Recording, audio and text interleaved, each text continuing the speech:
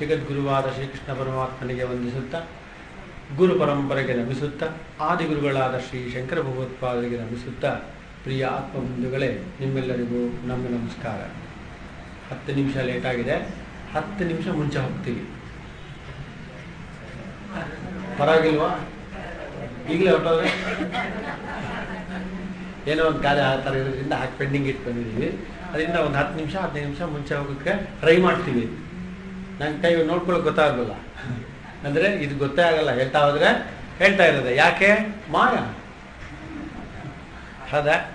ಆದ್ದರಿಂದ ನಿರಾಶಾರಣ್ಯವಾಗಿರತಕ್ಕಂಥ ಶರೀರದಲ್ಲಿ, ಅಂತಃಕರಣವೆಂಬ ಗುರುಕುಲದಲ್ಲಿ ಬುದ್ಧಿರೂಪಿಯಾದ ಗುರುಗಳು, ಮನೋರೂಪಿಯಾದ ಶಿಷ್ಯನಿಗೆ ಮಾಯಾ ನಿರೂಪಣೆಯನ್ನು ಮಾಡ್ತಾ ಇದ್ರು. ಅದು ಪರಮೇಶ್ವರನ ಶಕ್ತಿ ಅವ್ಯಕ್ತವಾಗಿರ್ತಕ್ಕಂಥದ್ದು ಅನಾದಿಯಾಗಿರತಕ್ಕಂಥದ್ದು, ಅದು ಅವಿದ್ಯೆಯಾಗಿರತಕ್ಕಂಥದ್ದು, ತ್ರಿಗುಣಗಳಿಂದ ಕೂಡಿರತಕ್ಕಂಥದ್ದು ಅಂತೆಲ್ಲ ಹೇಳಿದರು. ಹೇಳಿದ್ರೋ ಇಲ್ವೋ? ಈ ಮಾಯೆಯಿಂದಲೇ ಎಲ್ಲವೂ ಸೃಷ್ಟಿ ಸ್ಥಿತಿ ಲಯವೆಲ್ಲವೂ ಆಗೋದು ಅಂತ ಹೇಳಿದರು. ಎಲ್ಲವೂ ಇದರಿಂದಲೇ ಸೃಷ್ಟಿಯಾಗೋದು ಅಂತ ಅಂದಮೇಲೆ, ಇದನ್ನ ಈ ಮಾಯನ ಅರ್ಥ ಮಾಡ್ಕೊಳ್ಳೋದು ಹೇಗೆ? ಯಾವುದರಿಂದ ಯಾವುದು ಸೃಷ್ಟಿಯಾಗಿರುತ್ತದೋ ಅದು ತನ್ನನ್ನು ಸೃಷ್ಟಿ ಮಾಡಿದ್ದನ್ನು ತಿಳ್ಕೊಳ್ಳೋದಕ್ಕೆ ಆಗೋದಿಲ್ಲ. ಅಲ್ಪ ಆಗಿರುತ್ತೆ. ಹೌದಲ್ವ? ಅಂದರೆ ಯಾವುದೇ ಕಾರ್ಯವು ಕಾರಣವನ್ನು ಸ್ವಯಂ ನೋಡಲಾರದು. ಕರೆಕ್ಟ್ ನಮ್ಮ ತಂದೆ ತಾಯಿಗಳು ನಮ್ಮ ಜನ್ಮಕ್ಕೆ ಕಾರಣ ಅಂತಂದ್ರೆ ಆ ಕಾರಣ ನಮಗೆ ಗೊತ್ತಾಗೋದೇ ಇಲ್ಲ. ನಾವು ಅದರ ಕಾರ್ಯ. ಅದರಿಂದ ಜಗತ್ತೆಲ್ಲವೂ ಈ ಅವಿದ್ಯೆಯ, ಮಾಯೆಯ ಕಾರ್ಯ. ಆದರೆ ಬುದ್ಧಿವಂತನಾದವರು ಕಾರ್ಯವನ್ನು ನೋಡುತ್ತಾ ಕಾರ್ಯವನ್ನು ನೋಡುತ್ತಾ ಕಾರಣವನ್ನು ಗುರುತಾ ಗುರುತಿಸುತ್ತಾರೆ. ಅವರಿಗೆ ಗೊತ್ತಾಗತ್ತೆ. ಮಾಯಾಯ ಜಗತ್ ಸರ್ವಮಿದಂ ಪ್ರಸೂಯತೆ. ಎಲ್ಲವೂ ಇದರಿಂದನೇ ಬಂದಿರೋದು ಮಾಯಾ. ಹಾಗಾದ್ರೆ ಇದನ್ನು ನಿಜವಾಗಲೂ ಮಾಯಾ ಮಾಯಾ ಅಂತ ಹೇಳಿ ಅರ್ಥ ಆಗೋದು ಹೇಗೆ? ಗೊತ್ತಾನೆ? ಹಾಗಾದ್ರೆ ಏನಂತ ಆಯ್ತಾವ ಎಲ್ಲದರಲ್ಲೂ ಇದರಿಂದಲೇ ಬಂದಿರೋದು ಅಂತಂದ್ರೆ ಮನುಷ್ಯನಿಗೆ ಪ್ರಧಾನವಾದದ್ದು ಬುದ್ಧಿ. ಹೌದಲ್ವಾ ನಾವೆಲ್ಲರೂ ಮನುಷ್ಯರು. ಮನುಷ್ಯರಾಗಿದ್ದ ನಮಗೆ ಪ್ರಧಾನವಾಗಿರೋದು ಬುದ್ಧಿ. ಈಗ ನಿಧಾನಕ್ಕೆ ಯೋಚನೆ ಮಾಡಿ. ಬುದ್ಧಿಯು ಮಾಯೆಯ ಕಾರ್ಯ. ಬುದ್ಧಿಯು ಮಾಯೆಯ ಕಾರ್ಯ. ಮಾಯೆಯ ಕಾರ್ಯವಾಗಿರುವ ಬುದ್ಧಿ ಮಾಯೆಯನ್ನ ಅರಿಯುವುದು ಹೇಗೆ? ಗೊತ್ತಾನೆ? ನಮಗಿರೋದು ಬುದ್ಧಿ. ಬುದ್ಧಿಯಿಂದಲೇ ಅರ್ಥ ಮಾಡ್ಕೋಬೇಕು ಮಾಯನ ಹೇಗೆ ಅರ್ಥ ಮಾಡ್ಕೊಳ್ಳೋದು? ಮಾಯೆ ಅಂದ್ರೆ ಈಗ ಒಂಥರ ಇದೆ, ಆಮೇಲೆ ಒಂಥರ ಇದೆ, ಹೀಗಿದೆ, ಇದೆಲ್ಲನೂ ನಾವು ಅನ್ಕೋತಾ ಇರೋದು, ಮಾಡ್ತಾ ಇರೋದು ನಮ್ಮ ಬುದ್ಧಿಯಿಂದ. ಬುದ್ಧಿಶಕ್ತಿಯಿಂದ. ಹಾಗಾದರೆ ನಮಗೆ ಬುದ್ಧಿ ಎಷ್ಟೇ ಉಪಯೋಗಿಸಿದರೂ ಕೂಡ ಮಾಯೆಯು ನಮಗೆ ಯಥಾರ್ಥವಾಗಿ ಅರ್ಥ ಆಗೋಲ್ಲ. ಯಾಕೆ ಅಂದ್ರೆ ಅದು ಪರಮೇಶ್ವರನ ಶಕ್ತಿ ಒಂದು, ಅವ್ಯಕ್ತವಾಗಿದೆ ಒಂದು, ಅವಿದ್ಯ ಆಗಿದೆ ಒಂದು, ತ್ರಿಗುಣಗಳಿಂದ ಕೂಡಿದೆ ಅದು, ಮೂರು ಗುಣಗಳಿಂದ ಪ್ರಕೃತಿ ಇದೆ. ಮತ್ತು ಪ್ರಕೃತಿಯು ಸದಾ ಬದಲಾಗುತ್ತಿರುತ್ತದೆ. ಹೌದಾ? ಮನುಷ್ಯನ ಸ್ವಭಾವ ಪ್ರಕೃತಿಯು ಸದಾ ಬದಲಾಗ್ತಾ ಇರುತ್ತೆ, ಮೂರು ಗುಣಗಳು ಇರೋದ್ರಿಂದ. ಅದರಿಂದ ಇದು ಇದನ್ನಿತ್ತ ಇದು ಮಾತ್ರ ಸರಿ, ಇದು ಮಾತ್ರ ಮಾಯೆ, ಇದು ಅವಿದ್ಯೆ ಅಂತ ಹೇಳೋದಕ್ಕೆ ಎಂದಿಗೂ ಸಾಧ್ಯ ಇಲ್ಲ. ಹೌದಲ್ವಾ? ಹಾಗಾದ್ರೆ ಇದನ್ನು ಹೇಗೆ ಅರ್ಥ ಮಾಡ್ಕೋಬೇಕು? ಅಂದ್ರೆ ಇದನ್ನು ಅರ್ಥ ಮಾಡ್ಕೊಳ್ಳೋದಕ್ಕೆ ಅರ್ಥವಾಗಲ್ಲ ಅನ್ನೋದನ್ನ ಇವತ್ತಿನ ಶ್ಲೋಕದಲ್ಲಿ ಶಂಕರ ಭಗವತ್ಪಾದರು ಹೇಳ್ತಾರೆ. ಆ ಶ್ಲೋಕವನ್ನು ಮಾತ್ರ ಇವತ್ತು ಸ್ವಲ್ಪ ನೋಡೋಣ. ಎಷ್ಟೊತ್ತಾಗತ್ತೋ ಅಷ್ಟೊತ್ತು ನೋಡೋಣ. ಅದನ್ನ ಮುಂದಿನ ವಾರದಲ್ಲಿ ಅದನ್ನ ಪೂರ್ತಿ ಮಾಡೋಣ. ತುಂಬಾ ಈ ಮಾಯೆ ವಿಚಾರ ಮಾತಾಡಕ್ ಹೋದ್ರೆ ನೀವೆಲ್ಲರೂ ಮಾಯೆಯಲ್ಲಿ ಮುಳುಗೋಗ್ತೀರಿ. ಆಚೆಗೆ ಬರದೇ ಇಲ್ಲ. ಅದಲ್ವೇ ಯಾಕಂದ್ರೆ ನೀವು ಕೂತ್ಕೊಂಡು ಆ ಅಂತ ನೋಡ್ತಾ ಇರೋದು, ಓ ಅಂತ ಕೇಳ್ತಾ ಇರೋದು ಕೂಡ ಮಾಯೆಯ ಕಾರ್ಯವೇ. ಹೌದಲ್ವಾ? ಅದನ್ನ ಹಾಗೇನೆ ತಿಳ್ಕೋಬೇಕಾದ್ರೆ ಏನು ಮಾಡಬೇಕು? ಈ ಶ್ಲೋಕ ಮಾತ್ರ ಎಂದೂ ಯಾರೂ ಮರೆಯಬಾರದು. ಇವತ್ತೇನು ಹೇಳ್ತಿದ್ದೀವಿ? ಇದು ಹೇ, ಏನಂತ ಹೇಳ್ತಾರೆ ನೋಡಿ ಗುರುಗಳು. ಶಿಷ್ಯ ಕೇಳ್ತಾನೆ. ಹಾಗಾಗಿ ಏನಂತ ತಿಳ್ಕೊಳ್ಳೋದು ನಮ್ಗೆ ಅರ್ಥ ಆಗಲ್ವಲ್ಲ? ನನ್ನ ಬುದ್ಧಿಗೆ ಹೊಳಿತಾ ಇಲ್ಲ ಮಾಯಾ ಅಂದ್ರೆ ಏನು ಅಂತ?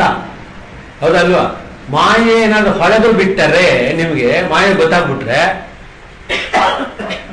ಗೊತ್ತಾಗದೆ ಇರೋದಕ್ಕೆ ಅದನ್ನ ಮಾಯ ಅಂತ ಹೇಳ್ತಾ ಇರೋದು. ಹಾಗಾದ್ರೆ ಏನಂತ ತಿಳ್ಕೊಳ್ಳೋಣ, ಏನಂತ ಮಾಡೋಣ ಅಂದ್ರೆ ಎಷ್ಟು ಸುಂದರವಾದ ಒಂದು ಶ್ಲೋಕ ಅವರಿಗೆ ಬಂದಿದೆ ನೋಡಿ. ಶಂಕರ ಭಗವತ್ಪಾದರಿಗೆ. ಮೊದಲು ಅದನ್ನ ಏನೇನೋ ಅನ್ಕೊಂಡ್ರು ಅದಲ್ಲ ಅನ್ನೋದನ್ನ ನಿರೂಪಣೆ ಮಾಡ್ತಾರೆ ಇವತ್ತು. ಆಮೇಲೆ ಮುಂದಿನ ಮಾತು. ಏನ್ ಹೇಳ್ತಾರೆ ಕೇಳೋಣ. ಸನ್ನಾಪ್ಯ ಸನ್ನಾಪ್ಯುಭಯಾತ್ಮಿಕಾನೋ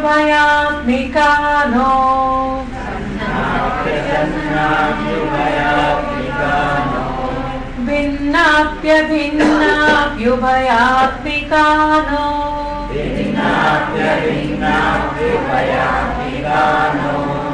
साङ्गाप्यनङ्गाप्युभयात्मिका नो साङ्गाप्यनङ्गाप्युभयात्मिका नो महाद्भुता अनिर्वचनीयरूपा। महाद्भुता अनिर्वचनीयरूपा। सन्नाप्य सन्नाप्युभयात्मिका नो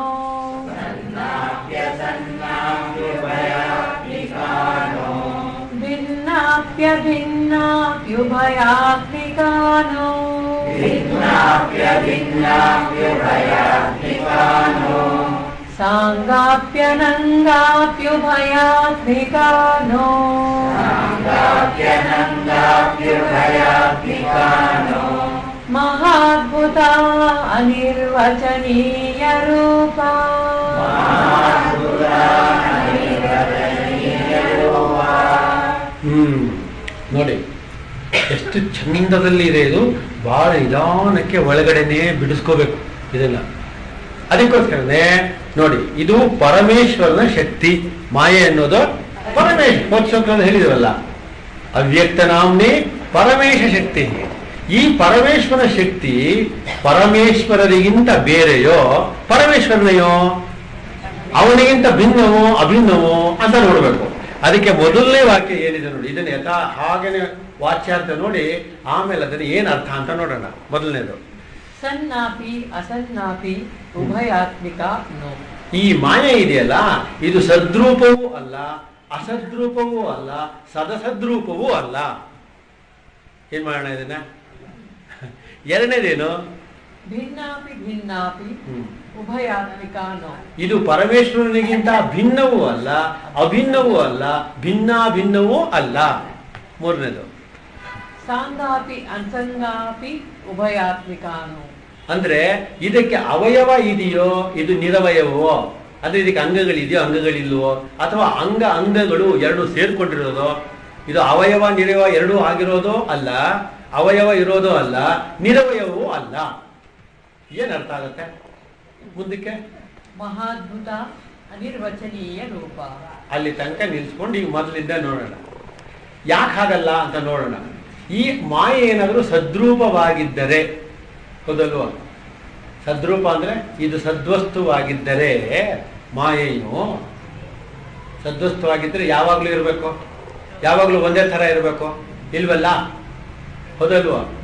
ಅಥವಾ ಸದ್ವಸ್ತು ಆಗಿದ್ದರೆ ಇದನ್ನ ಜ್ಞಾನದಿಂದ ನಾಶ ಮಾಡೋಕ್ಕಾಗಲ್ಲ. ಯಾಕೆಂದ್ರೆ ಜ್ಞಾನವು ಸದ್ವಸ್ತು. ಇದು ಸದ್ವಸ್ತು ಆಗ್ಬಿಟ್ರೆ ಇದನ್ನ ನಾಶ ಮಾಡಾಗಿಲ್ಲ. ಆದರೆ ಯಾವುದು ಪರಮಾತ್ಮ ಜ್ಞಾನದಿಂದ ಈ ಮಾಯಾ ಜ್ಞಾನವನ್ನು ಹೋಗಲಾಡಿಸಬಲ್ಲದೋ ಅದು ಸದ್ರೂಪವಾಗಿರಲಾರದು. ಅದಲ್ಲ ಅಸದ್ರೂಪವೋ ಅಂತಂದ್ರೆ ಅಸದ್ರೂಪವಾಗಿದ್ದರೆ ಅಂದ್ರೆ ಇದಕ್ಕೆ ಯಾವುದೇ ರೂಪ ಇಲ್ಲದೆ ಇಲ್ಲ ಅಂತ ನಾವು ಅನ್ನೋದಾದ್ರೆ ಅದರ ಅನುಭವ ನಮ್ಗೆ ಆಗ್ತಾ ಇದೆಯಲ್ಲ? ಮಾಯೆಯಿಂದ ನಾವು ಹೊಳ್ತಾ ಇದ್ದೀವಿ ನಗ್ತಾ ಇದ್ದೀವಿ ಹುಟ್ತಾ ಇದ್ದೀವಿ ಸಾಯ್ತಾ ಇದೀವಲ್ಲ? ಇದೆಲ್ಲವೂ ನಮ್ಗೆ ಅನುಭವಕ್ಕೆ ಬರ್ತಾ ಇದೆಯಲ್ಲ? ಅದರಿಂದ ಇದನ್ನ ಅಸದ್ರೂಪ ಅಂತಲೂ ಹೇಳಕ್ ಬರಲ್ಲ. ಇದು ಸದ್ರೂಪವೂ ಅಲ್ಲ, ಅಸದ್ರೂಪವೂ ಅಲ್ಲ. ಸದಸದ್ರೂಪವೋ ಅಂತಂದ್ರೆ ಎರಡು ಸೇರಿರುವುದು ಅಂದ್ರೆ ಯಾವುದೇ ಒಂದು ವಸ್ತುವಿಗೆ ಎರಡು ವಿರುದ್ಧ ಧರ್ಮಗಳು ಇರೋದಿಲ್ಲ. ಬೆಂಕಿಯು ತಣ್ಣಗಿರುತ್ತದಾ? ತಣ್ಣಗಿರುವುದು ಅನ್ನುವುದು ಬೆಂಕಿಯು ವಿರುದ್ಧವಾದದ್ದು. ಹೌದಲ್ವಾ? ಐಸ್ ಗೆಡ್ಡೆಯು ಬಿಸಿಯಾಗಿರುತ್ತದಾ? ಇಲ್ಲ. ತದ್ವಿರುದ್ಧವಾದದ್ದು. ಹಾಗಾದ್ರೆ ಮಾಯ ಎನ್ನತಕ್ಕಂಥದ್ದು, ಮಾಯ ಅಲ್ಲದ ಸದ್ವಸ್ತು ವಿರುದ್ಧ ಆಗಿರಬೇಕು. ಅದರಿಂದ ಇದೇನಾಯ್ತು ಇವಾಗ? ಇದಕ್ಕೆ ಸದ್ರೂಪವೂ ಇಲ್ಲ, ಅಸದ್ರೂಪವೂ ಅಲ್ಲ, ಸದಸದ್ರೂಪವೂ ಅಲ್ಲ. ಅದಲ್ಲ ಒಂದು ಅರ್ಥ ಆಯ್ತು ಇವಾಗ ಅದು ಅರ್ಥ ಏನು? ಇದು ಸದ್ವಸ್ತುವಲ್ಲ ಅಸದ್ವಸ್ತುವಲ್ಲ ನೋಡಿ. ಸದ್ ಅಸದ್ವಸ್ತುವೂ ಅಲ್ಲ. ಹೌದಲ್ಲ ಹಾಗಾದ್ರೆ ಇದು ಯಾಕೆ? ಇದು ಯಾವಾಗಲೂ ಇರುತ್ತದೆ. ಇದು ಅನಾದಿ. ಇದು ಅನಾದಿಯಾಗಿರುವುದರಿಂದ ಇದನ್ನು ಸದ್ವಸ್ತು ಅಂತ ಅನ್ಕೊಂಡ್ಬಿಡೋಣ ಅಂತಂದ್ರೆ, ಸದ್ವಸ್ತು ಅಂತ ಏನಾದ್ರು ನೀವು ಅನ್ಕೊಂಡ್ಬಿಟ್ರೆ, ಈ ಮಾಯೆ ಮಾಯೆ ಅನ್ನತಕ್ಕಂಥದ್ದು ಯಾವಾಗಲೂ ನಿರೂಪಣೆ ಆಗೋದೇ ಬರೋದಿಲ್ವಲ್ಲ ಹೌದಲ್ವಾ? ಅಂದ್ರೆ ಯಾವ ಜ್ಞಾನದಿಂದಲೋ ಇದನ್ನು ನಾಶ ಆಗೋದೇ ಇಲ್ವಲ್ಲ? ಆದ್ದರಿಂದ ಇದು ಸದ್ವಸ್ತು ಆಗೋದಿಲ್ಲ. ಸದ್ವಸ್ತು ಅನ್ನೋದು ಒಂದೇ ಆಗಿರ್ಬೇಕು. ಬದಲಾಗದೆ ಆಗಿರಬೇಕು. ಕಾಲ ದೇಶ ಪಾತ್ರಗಳಲ್ಲಿ ಅದು ಅಪರಿಚ್ಛಿನ್ನವಾಗಿರಬೇಕು. ಆದ್ರೆ ಇದು ಕಾಲ ಕಾಲಕ್ಕೆ ಮಾಯೆ ಅನ್ನೋದು ಬದಲಾಗ್ತಾ ಇದೆ, ಗುಣಗಳು ಬದಲಾಗ್ತಾ ಇದೆ. ಆದ್ದರಿಂದ ಇದು ಈ ಮೊದಲನೇದನ್ನ ಹೊಡೆದಾಕ್ಬಿಡ್ಬೇಕು ಇದು ಸದ್ವಸ್ತುನೂ ಅಲ್ಲ ಅಸದ್ವಸ್ತು ಅಲ್ಲ. ಇದು ಸದ್ದಲ್ಲ, ಅಸತ್ತಲ್ಲ. ಹೊದಲ್ವ ಸತ್, ಅಸತ್ತು ಅಲ್ಲ, ಈ ಮಾಯೆ ಅನ್ನೋದು. ಎರಡನೇದು ನೋಡಿ ಇವಾಗ. ಭಿನ್ನ, ಅಭಿನ್ನ, ಭಿನ್ನ ಭಿನ್ನ, ಅಲ್ವಾ? ಎರಡು ಸೇರೋದಲ್ಲ ಇದು ಪರಮೇಶ್ವರನಿಗಿಂತ ಇದು ಭಿನ್ನವೋ? ಏನಾರು ಅಂದರೆ, ಇದು ಪರಮೇಶ್ವರನಿಗಿಂತ ಬೇರೆ ಅನ್ನುವುದಾದರೆ. ಹೌದಾ? ಮಾಯೆಗೆ ಬೇರೆ ಅಸ್ತಿತ್ವ ಇರೋದಿಲ್ಲ. ಯಾಕೆಂದ್ರೆ ಅವ್ಯಕ್ತ ನಾಮ್ನಿ ಪರಮೇಶ ಶಕ್ತಿ ಅಂತ ಹೇಳಿಬಿಟ್ಟಿದ್ದೀವಿ ಇದು ಪರಮೇಶ್ವರನಿಗೆ ಅಂತ ಭಿನ್ನವಲ್ಲ, ಮತ್ತೆ ಪರಮೇಶ್ವರನಲ್ಲೇ ಇದು ಸೇರಿ ಬಿಟ್ಟಿದೆ ಅಂದ್ಬಿಟ್ರೆ, ಪರಮೇಶ್ವರನಲ್ಲೇ ಇದ್ದು ಬಿಟ್ಟಿದೆ. ಇದು ಅಭಿನ್ನವಾಗಿದೆ ಪರಮೇಶ್ವರನಲ್ಲಿ, ಭಗವಂತನಲ್ಲಿ ಅಂತ ನೀವು ಅನ್ನೋದಾದ್ರೆ ಅವಾಗ ಅವನು ಮಾಯೆಗೆ ಒಳಗಾದವನು ಅಂತ ಅರ್ಥ ಆಗ್ಬಿಡುತ್ತೆ. ಹೌದಲ್ವ?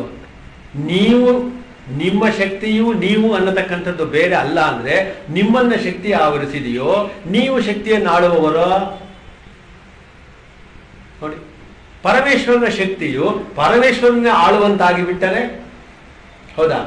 ಅಂದ್ರೆ ಅರ್ಥ ಏನು? ಪರಬ್ರಹ್ಮ ವಸ್ತುವು ಮತ್ತೆ ಮಾಯೆ ಅನ್ನೋದು ಮಾಯೆಯು ಪರಬ್ರಹ್ಮ ವಸ್ತುವಿನಲ್ಲೇ ಇದೆ ಅಂತ ಹೇಳೋದಕ್ಕೆ ಬರೋದಿಲ್ಲ.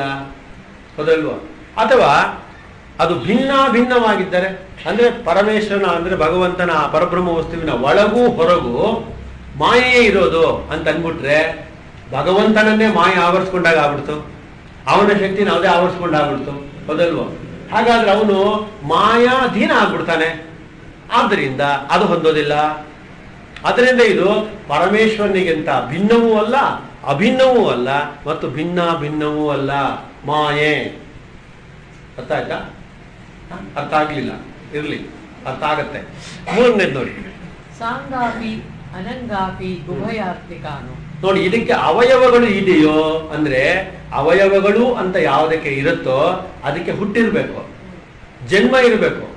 ಹೌದು? ನಾಶವಾಗಬೇಕು. ಈ ಮಾಯ ಅನ್ನೋದು ಅನಾದಿ. ಅಂದ್ರೆ ಇದಕ್ಕೆ ಹುಟ್ಟಿಲ್ಲ ಅಂತ ಹೇಳಿದ್ದಾರೆ. ಅವಿದ್ಯ, ಅನಾದಿ. ಅನಾದಿ ಏನು? ಆದಿ ಇಲ್ಲದೆ ಇರೋದು. ಅಂದ್ರೆ ಹುಟ್ಟಿಲ್ಲದೆ ಇರೋದು. ಜನ್ಮ ಇಲ್ಲದೆ ಇರೋದು. ಇದಕ್ಕೆ ಜನ್ಮ ಇಲ್ಲ. ಯಾವಾಗಲೂ ಇದೆ. ಇದು ಅಜ. ಮಾಯಾ ಕೂಡ ಯಾವಾಗಲೂ ಇರುತ್ತೆ. ಹೌದಾ? ಯಾವಾಗಲೂ ಬದಲಾಗ್ತಾನೆ ಇರುತ್ತೆ. ಮೂರು ಗುಣಗಳ ಮಿಶ್ರಣದಲ್ಲಿರೋದ್ರಿಂದ ಪ್ರಕೃತಿ ಸದಾ ಬದಲಾಗ್ತಾ ಇದೆಯಲ್ವೋ? ಪ್ರಕೃತಿಯಲ್ಲಿರುವ ನಾಲ್ಕು ಋತುಗಳು ಕೂಡ ಪ್ರಕೃತಿ ನೀವು ನೋಡ್ತಾ ಇರೋ ಹಾಗೆ ಕಾಲಮಾನವು ಕೂಡ ನಾಲ್ಕು ತಿಂಗಳಿಗೆ ಒಂದು ಸತಿ ಬದಲಾಗ್ತಾ ಇದೆ. ಯಾವಾಗಲೂ ಬದಲಾಗ್ತಾ ಇದೆ. ಹೌದಲ್ವಾ ಇದಕ್ಕೆ ಅವಯವ ಇಲ್ಲ ಅಂತ ನೀವೇನಾರು ಅನ್ನೋದಾದ್ರೆ, ಇದಕ್ಕೆ ಅವಯವವೇ ಇಲ್ಲ ಅಂತಂದ್ರೆ ಎಲ್ಲಾ ಕಾಟವು ನಮ್ಗೆ ಇದರಿಂದ ಆಗ್ತಾ ಇದೆ. ನೋಡಿ. ಹಂಗ ಇಲ್ಲ ಅನ್ನೋದಾದ್ರೆ ಇದು ಹಾಗೆ. ಅದು ಇದು ಅವಯವ ಇದೆ, ಅವಯವ ಇಲ್ಲ, ಎರಡೂ ಸೇರಿದ್ದು ಅನ್ನೋದಾದ್ರೆ ಹಾಗೆ ಹೇಳೋದಕ್ಕೆ ಬರೋದಿಲ್ಲ. ವಿರುದ್ಧವಾದದ್ದಾಗ್ಬಿಡುತ್ತೆ, ಅಲ್ವಾ? ಇವರು ಕೈ ಕಾಲಿರುವವರು ಮತ್ತು ಕೈ ಕಾಲಿಲ್ಲದವರು ಅಂತ ಹೇಗೆ ಹೇಳೋದು? ಎರಡರಲ್ಲಿ ಒಂದೇ ಹೇಳ್ಬೇಕು ಹೌದಲ್ವಾ? ಇಲ್ಲ ಇದೀನಿ ಇಲ್ಲ ಇಲ್ಲ, ಎರಡೇ ಇರುತ್ತಾನೆ ಆದರೆ ಇರುವುದನ್ನ ಇಲ್ಲದಂತೆ, ಇಲ್ಲದಿರುವುದನ್ನ ಇದ್ದಂತೆ ತೋರಿಸುವುದು ಮಾಯೆಯ ಕೆಲಸ. ನೋಡಿ, ಕೈನಲ್ಲಿ ಏನಿದೆ? ಏನೂ ಇಲ್ಲ ಅಲ್ವಾ? ಐದು ಬೆರಳಿಲ್ವಾ? ಅಂದೇ ತಿಳ್ಕೊಳ್ಳಿ. ಮಾಯಾ. ಅಕಸ್ಮಾತ್ ಜಾಣರಾದರು ನೋಡಿ, ಈ ಕೈನಲ್ಲಿ ಏನಿದೆ? ಅಂದ್ರೆ, ಹಿಂದೆ ಒಂದ್ಸತಿ ಹೇಳಿದ್ನಲ್ಲ, ಅದರಿಂದ ಐದು ಬೆರಳಿದೆ ಅಂತ ಹೇಳಿದ್ರಿ. ಅಷ್ಟೇನಾ? ಅಂದ್ರೆ, ಹ್ಞೂ ಅಂದ್ರಿ. ಹೀಗಂದ್ರೆ, ಗೆರೆಗಳಿಲ್ವಾ? ಅದರಿಂದ ಇದು, ಈ ಕೈ ಮುಚ್ಚು, ಈ ಮುಚ್ಚಿಕೊಂಡಿರುವಾಗ ನಿಮಗೆ ಏನಿದೆ ಇದರೊಳಗೆ ಅನ್ನೋದು ಕುತೂಹಲ ಇದೆಯಲ್ಲ. ಆ ಕುತೂಹಲಕ ಕಾರಣದಿಂದಲೇ ಮನುಷ್ಯ ಇದರೊಳಗಡೆ ಇರಬಹುದಾದನ್ನ ಊಹಿಸುತ್ತಾನೆ. ಕಲ್ಪಿಸುತ್ತಾನೆ. ಆದ ಕಾರಣದಿಂದಲೇ ವ್ಯಾಖ್ಯಾನಕಾರರು, ಹಿಂದಿನ ಎಲ್ಲ ನಮ್ಮ ಆಚಾರ್ಯರು ಇದನ್ನ ಭ್ರಾಂತಿ, ಕಲ್ಪನೆ ಅಂತ ಕರೆದಿದ್ದಾರೆ. ಅದಕ್ಕೋಸ್ಕರನೇ ಒಬ್ಬೊಬ್ಬರು ಒಂದೊಂದು ಥರ ಇದನ್ನ ತಿಳ್ಕೊಳ್ತಾ ಇರೋದ್ರಿಂದನೇ ಇದನ್ನ ಮಾಯಾ ಅಂತ ಹೇಳಿರೋದು. ಹೌದಲ್ವೋ ಅಂದ್ರೆ ಇದು ಪರಮೇಶ್ವರನ ಶಕ್ತಿ, ಇದು ಪರಮೇಶ್ವರನಿಗಿಂತ ಭಿನ್ನವೂ ಅಲ್ಲ, ಅಭಿನ್ನವೂ ಅಲ್ಲ ಭಿನ್ನ ಭಿನ್ನವೂ ಅಲ್ಲ, ಇದು ಸದ್ವಸ್ತುವಿಗಿಂತ ಸದ್ವಸ್ತುವೂ ಅಲ್ಲ, ಅಸದ್ವಸ್ತುವೂ ಅಲ್ಲ, ಸದಸದ್ವಸ್ತುವೂ ಅಲ್ಲ. ಇದಕ್ಕೆ ಅವಯವ ಇಲ್ಲ, ಅವಯವ ಇದೆ ಇದೆ ಇಲ್ಲ ಅನ್ನುವುದರ ನಡುವೆ ಇದು, ಇದ್ದು ಇಲ್ಲದಂತೆ ಇಲ್ಲದಂತೆ ಇದ್ದು, ಇದು ನಿಮಗೆ ನಮಗೆ ತೋರಿಸ್ಕೊಳ್ತಾ ಇರುತ್ತೆ. ಆದ್ದರಿಂದ ಈ ಮಾಯನ ನಾವು ಅರ್ಥ ಮಾಡ್ಕೊಳ್ಬೇಕಾದ್ರೆ ನಮಗೆ ಕಾರ್ಯವನ್ನು ನೋಡಿ ಕಾರಣವನ್ನ ಗ್ರಹಿಸಬೇಕು. ಮಾಯೆಯ ಕಾರ್ಯ ಜಗತ್ ಸೃಷ್ಟಿ. ಈ ಜಗತ್ತು ಅನ್ನೋದು ಮಾಯೆಯ ಕಾರ್ಯ. ಹಾಗಾದ್ರೆ ಈ ಜಗತ್ತು ಅನ್ನೋದು ಕಾರ್ಯ ಆದ್ರೆ ಈ ಕಾರ್ಯಕ್ಕೆ ಕಾರಣ ಮಾಯಾ. ಹೊತ್ತಾನೆ. ಪರಮೇಶ್ವರನು ಇದು ಇದು, ಇದಕ್ಕೂ ಸಂಬಂಧ ಇಲ್ಲ ಅಂತ ನಾವು ಅನ್ನೋದಾದ್ರೆ, ಈ ಮಾಯೆಯನ್ನು ಮತ್ತು ಈ ಮಾಯೆಯ ಸೃಷ್ಟಿಯನ್ನು ಚೈತನ್ಯಪೂರ್ಣವಾಗಿ ಬೆಳಗುತ್ತಿರುವುದು ಯಾವುದಿದೆಯೋ, ಅದು ಇದೆರಡಕ್ಕೂ ಸಿಕ್ಕಾಕೊಳ್ಳಲ್ಲ. ಇದನ್ನು ಬೆಳಗಬೇಕಾಗಿರುತ್ತೆ. ಅದರಿಂದ ಸಿಕ್ಕಾಕೊಳ್ಳಲ್ಲ. ಹೌದಾ? ಹೇಗೆ ಸಿಕ್ಕಾಕೊಳ್ಳಲ್ಲ? ಇವಾಗ ಟ್ಯೂಬ್ಲೈಟಿನ ಬೆಳಕಿದೆ. ಈ ಬೆಳಕು ಅನ್ನೋದು ಟ್ಯೂಬ್ಲೈಟಿಗೂ ಸಂಬಂಧಪಟ್ಟಿದ್ದಲ್ಲ. ಹೌದಲ್ವಾ? ಈ ಇಲ್ಲಿ ಎಲ್ಲವನ್ನ ಬೆಳಗ್ತಾ ಇದೆಯಲ್ಲ, ಈ ಪದಾರ್ಥಗಳಿಗೂ ಸಂಬಂಧಪಟ್ಟಿದ್ದಲ್ಲ. ಅದಲ್ವಾ ಟ್ಯೂಬ್ ಲೈಟಿನ ಮೂಲಕ ಯಾವುದು ವಿದ್ಯುತ್ ಶಕ್ತಿ ಅಂತ ಬರ್ತಾ ಇದೆಯೋ, ಅದು ಬೆಳಕಾಗಿ ನಮಗೆ ಕಾಣುತ್ತೆ. ನಿಜವಾಗ್ಲೂ ವಿದ್ಯುತ್ ಶಕ್ತಿಯೇ ಬೆಳಕು. ಆದರೆ ವಿದ್ಯುತ್ ಶಕ್ತಿ ನಮಗೆ ಕಾಣಲ್ಲ. ವಿದ್ಯುತ್ ಶಕ್ತಿ ಒಂದಿದೆ, ಆ ಶಕ್ತಿ ಒಂದಿದೆ ಅಂತ ನಾವು ಗುರುತಿಸಬೇಕಾದ್ರೆ ಹೇಗೆ? ಬೆಳಕಿನ ಮೂಲಕ. ಬೆಳಕು ಎಲ್ಲಿಂದ ಬರ್ತಾ ಇದೆ? ಟ್ಯೂಬ್ ಲೈಟಿಂದ ಬರ್ತಾ ಇದೆ. ಆ ಟ್ಯೂಬ್ ಇಂದ ಬರ್ತಾ ಇದೆ. ಅದರ ಮೂಲಕ ವಿದ್ಯುತ್ ಶಕ್ತಿಯನ್ನ ಊಹೆ ಮಾಡ್ಕೋಬಹುದು. ಕಾರ್ಯವನ್ನು ನೋಡಿ ಕಾರಣವನ್ನು ಗುರುತಿಸ್ಬೋದು. ಹೌದಲ್ವ ನಾನು ಇದ್ದೇನೆ, ಇದಕ್ಕೆ ಕಾರಣವನ್ನು ನಾವು ಊಹಿಸೋದೇನು? ನಾನು ಅಸ್ತಿತ್ವದಲ್ಲಿ ಇರುವುದರಿಂದ ಈ ಶರೀರ ಬರೋದಕ್ಕೆ ಅಪ್ಪ, ಅಮ್ಮ ಅನ್ನೋರು ಕಾರಣ. ನಾನು ಕಾರ್ಯ. ಹೌದಲ್ವ ನಾನು ನಾನು ಅನ್ನುವ ಶರೀರ ಇದೆಯಲ್ಲ, ಈ ಜಗತ್ತಿಗೆ ಬಂತಲ್ಲ, ಕಾರ್ಯ. ಈ ಕಾರ್ಯವನ್ನು ನೋಡಿ ಏನ್ ಗುರುತಿಸ್ಬೋದು ನಾವು? ಇದಕ್ಕೆ ಕಾರಣವನ್ನು ಗುರುತಿಸ್ಬೋದು. ಅಂದ್ರೆ ಯಾರೋ ಅಪ್ಪ, ಅಮ್ಮ ಇದ್ದಾರೆ. ಆದರೆ ಈ ಪ್ರಪಂಚದಲ್ಲಿ ಮನುಷ್ಯನಿಗೆ ಒಂದು ದೊಡ್ಡದಾದ ಒಂದು ಮಾಯಾಜಾಲ ಇದೆ, ನೆಟ್ವರ್ಕ್ ಇದೆ. ಏನ್ ಮಾಡಿದ್ರು ಅವನಿಗೆ ಅರ್ಥ ಆಗೋದಿಲ್ಲ. ಯಾವ ಥರ ಅಂದ್ರೆ ಒಂದನ್ನ ಇನ್ನೊಂದ್ ತರ ತಿಳ್ಕೊಳ್ತಾನೆ ಅನ್ನೋದಕ್ಕೆ ಒಂದು ಉದಾಹರಣೆ ಹೇಳ್ತೀನಿ ನೋಡಿ. ಒಬ್ರು ನಮ್ಗೆ ಹುಷಾರಿಲ್ಲದೆ ಇರುವಾಗ ಒಬ್ರು ಡಾಕ್ಟರ್ ಹತ್ರಕ್ಕೆ ಹೋಗ್ತೀವಿ. ಒಬ್ಬ ಡಾಕ್ಟರ್ ಹತ್ರಕ್ಕೆ ಹೋದ. ಅವನೇನ್ ಮಾಡಿದ್ರು, ಇವ್ನು ಹುಷಾರಿಲ್ವಲ್ಲ, ಜ್ವರ ಅದು ಇದು ಎಲ್ಲ ಇದೆ ಅಂತೇಳಿ ಮಾತ್ರೆ ಬರೋದು. ನೋಡಿಪ್ಪ ಇದನ್ನ ನೀವು ದಿನ ಬೆಳಗ್ಗೆ ಒಂದ್ಸತಿ, ಮಧ್ಯಾಹ್ನ ಒಂದ್ಸತಿ, ರಾತ್ರಿ ಒಂದ್ಸತಿ, ಮೂರ್ ಸತಿ ತಗೊಳ್ಳಿ ಅಂತ ಸೈನ್ ಮಾಡಿ ಕೊಟ್ಟರು ಇವನು ಬರ್ತಾ ದಾರಿ ಯೋಚನೆ ಮಾಡ ತುಂಬಾ ಬುದ್ಧಿವಂತ ತಾನೆ, ಬುದ್ಧಿ ತಾನೆ. ಇದನ್ನ ಮೂರ್ ಸತಿ ತಗೊಳ್ಳಿ ಅಂದ್ರೆ ಏನ್ ಮಾಡ್ಬೇಕು? ಚೀಟಿನ ಮೂರು ಭಾಗ ಮಾಡ್ದ. ಒಂದೊಂದು ಉಂಡೆ ಮಾಡ್ದ. ಬೆಳಗ್ಗೆ ಒಂದು ಉಂಡೆ ನುಂಗ್ದ, ಮಧ್ಯಾಹ್ನ ಒಂದು ನುಂಗ್ದ, ರಾತ್ರಿ ಒಂದು ನುಂಗ್ದ. ಜ್ವರ, ನೆಗಡಿ, ಕೆಮ್ಮು ಎಲ್ಲ ಹೊಟ್ಟೋಯ್ತಾ ಇಲ್ಲ, ಹೋಗಲ್ಲ. ಯಾಕೆ?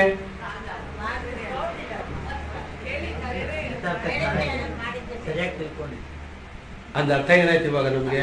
ನಾವು ಮಾಡ್ತಾನೇ ಇದೀವಿ ಮಾಡ್ತಾನೇ ಇದೀವಿ ಅರ್ಥ ಮಾಡ್ಕೊಳ್ದೆ ಹುಟ್ಟತಾನೇ ಇದೀವಿ ಸಾಯ್ತಾನೇ ಇದೀವಿ ಉಪಾಧಿಗಳು ನಮ್ಗೆ ಅರ್ಥನೇ ಆಗ್ತಾ ಇಲ್ಲ. ಯಾಕೆ ಮಾಯ? ನಾವು ಅದನ್ನೇ ಹರ್ಕೊಂಡು, ಹಂಚ್ಕೊಂಡು, ತಿನ್ಕೊಂಡು ಒದ್ದಾಡ್ತಾನೆ ಇದೀವಿ ಹೌದಾ?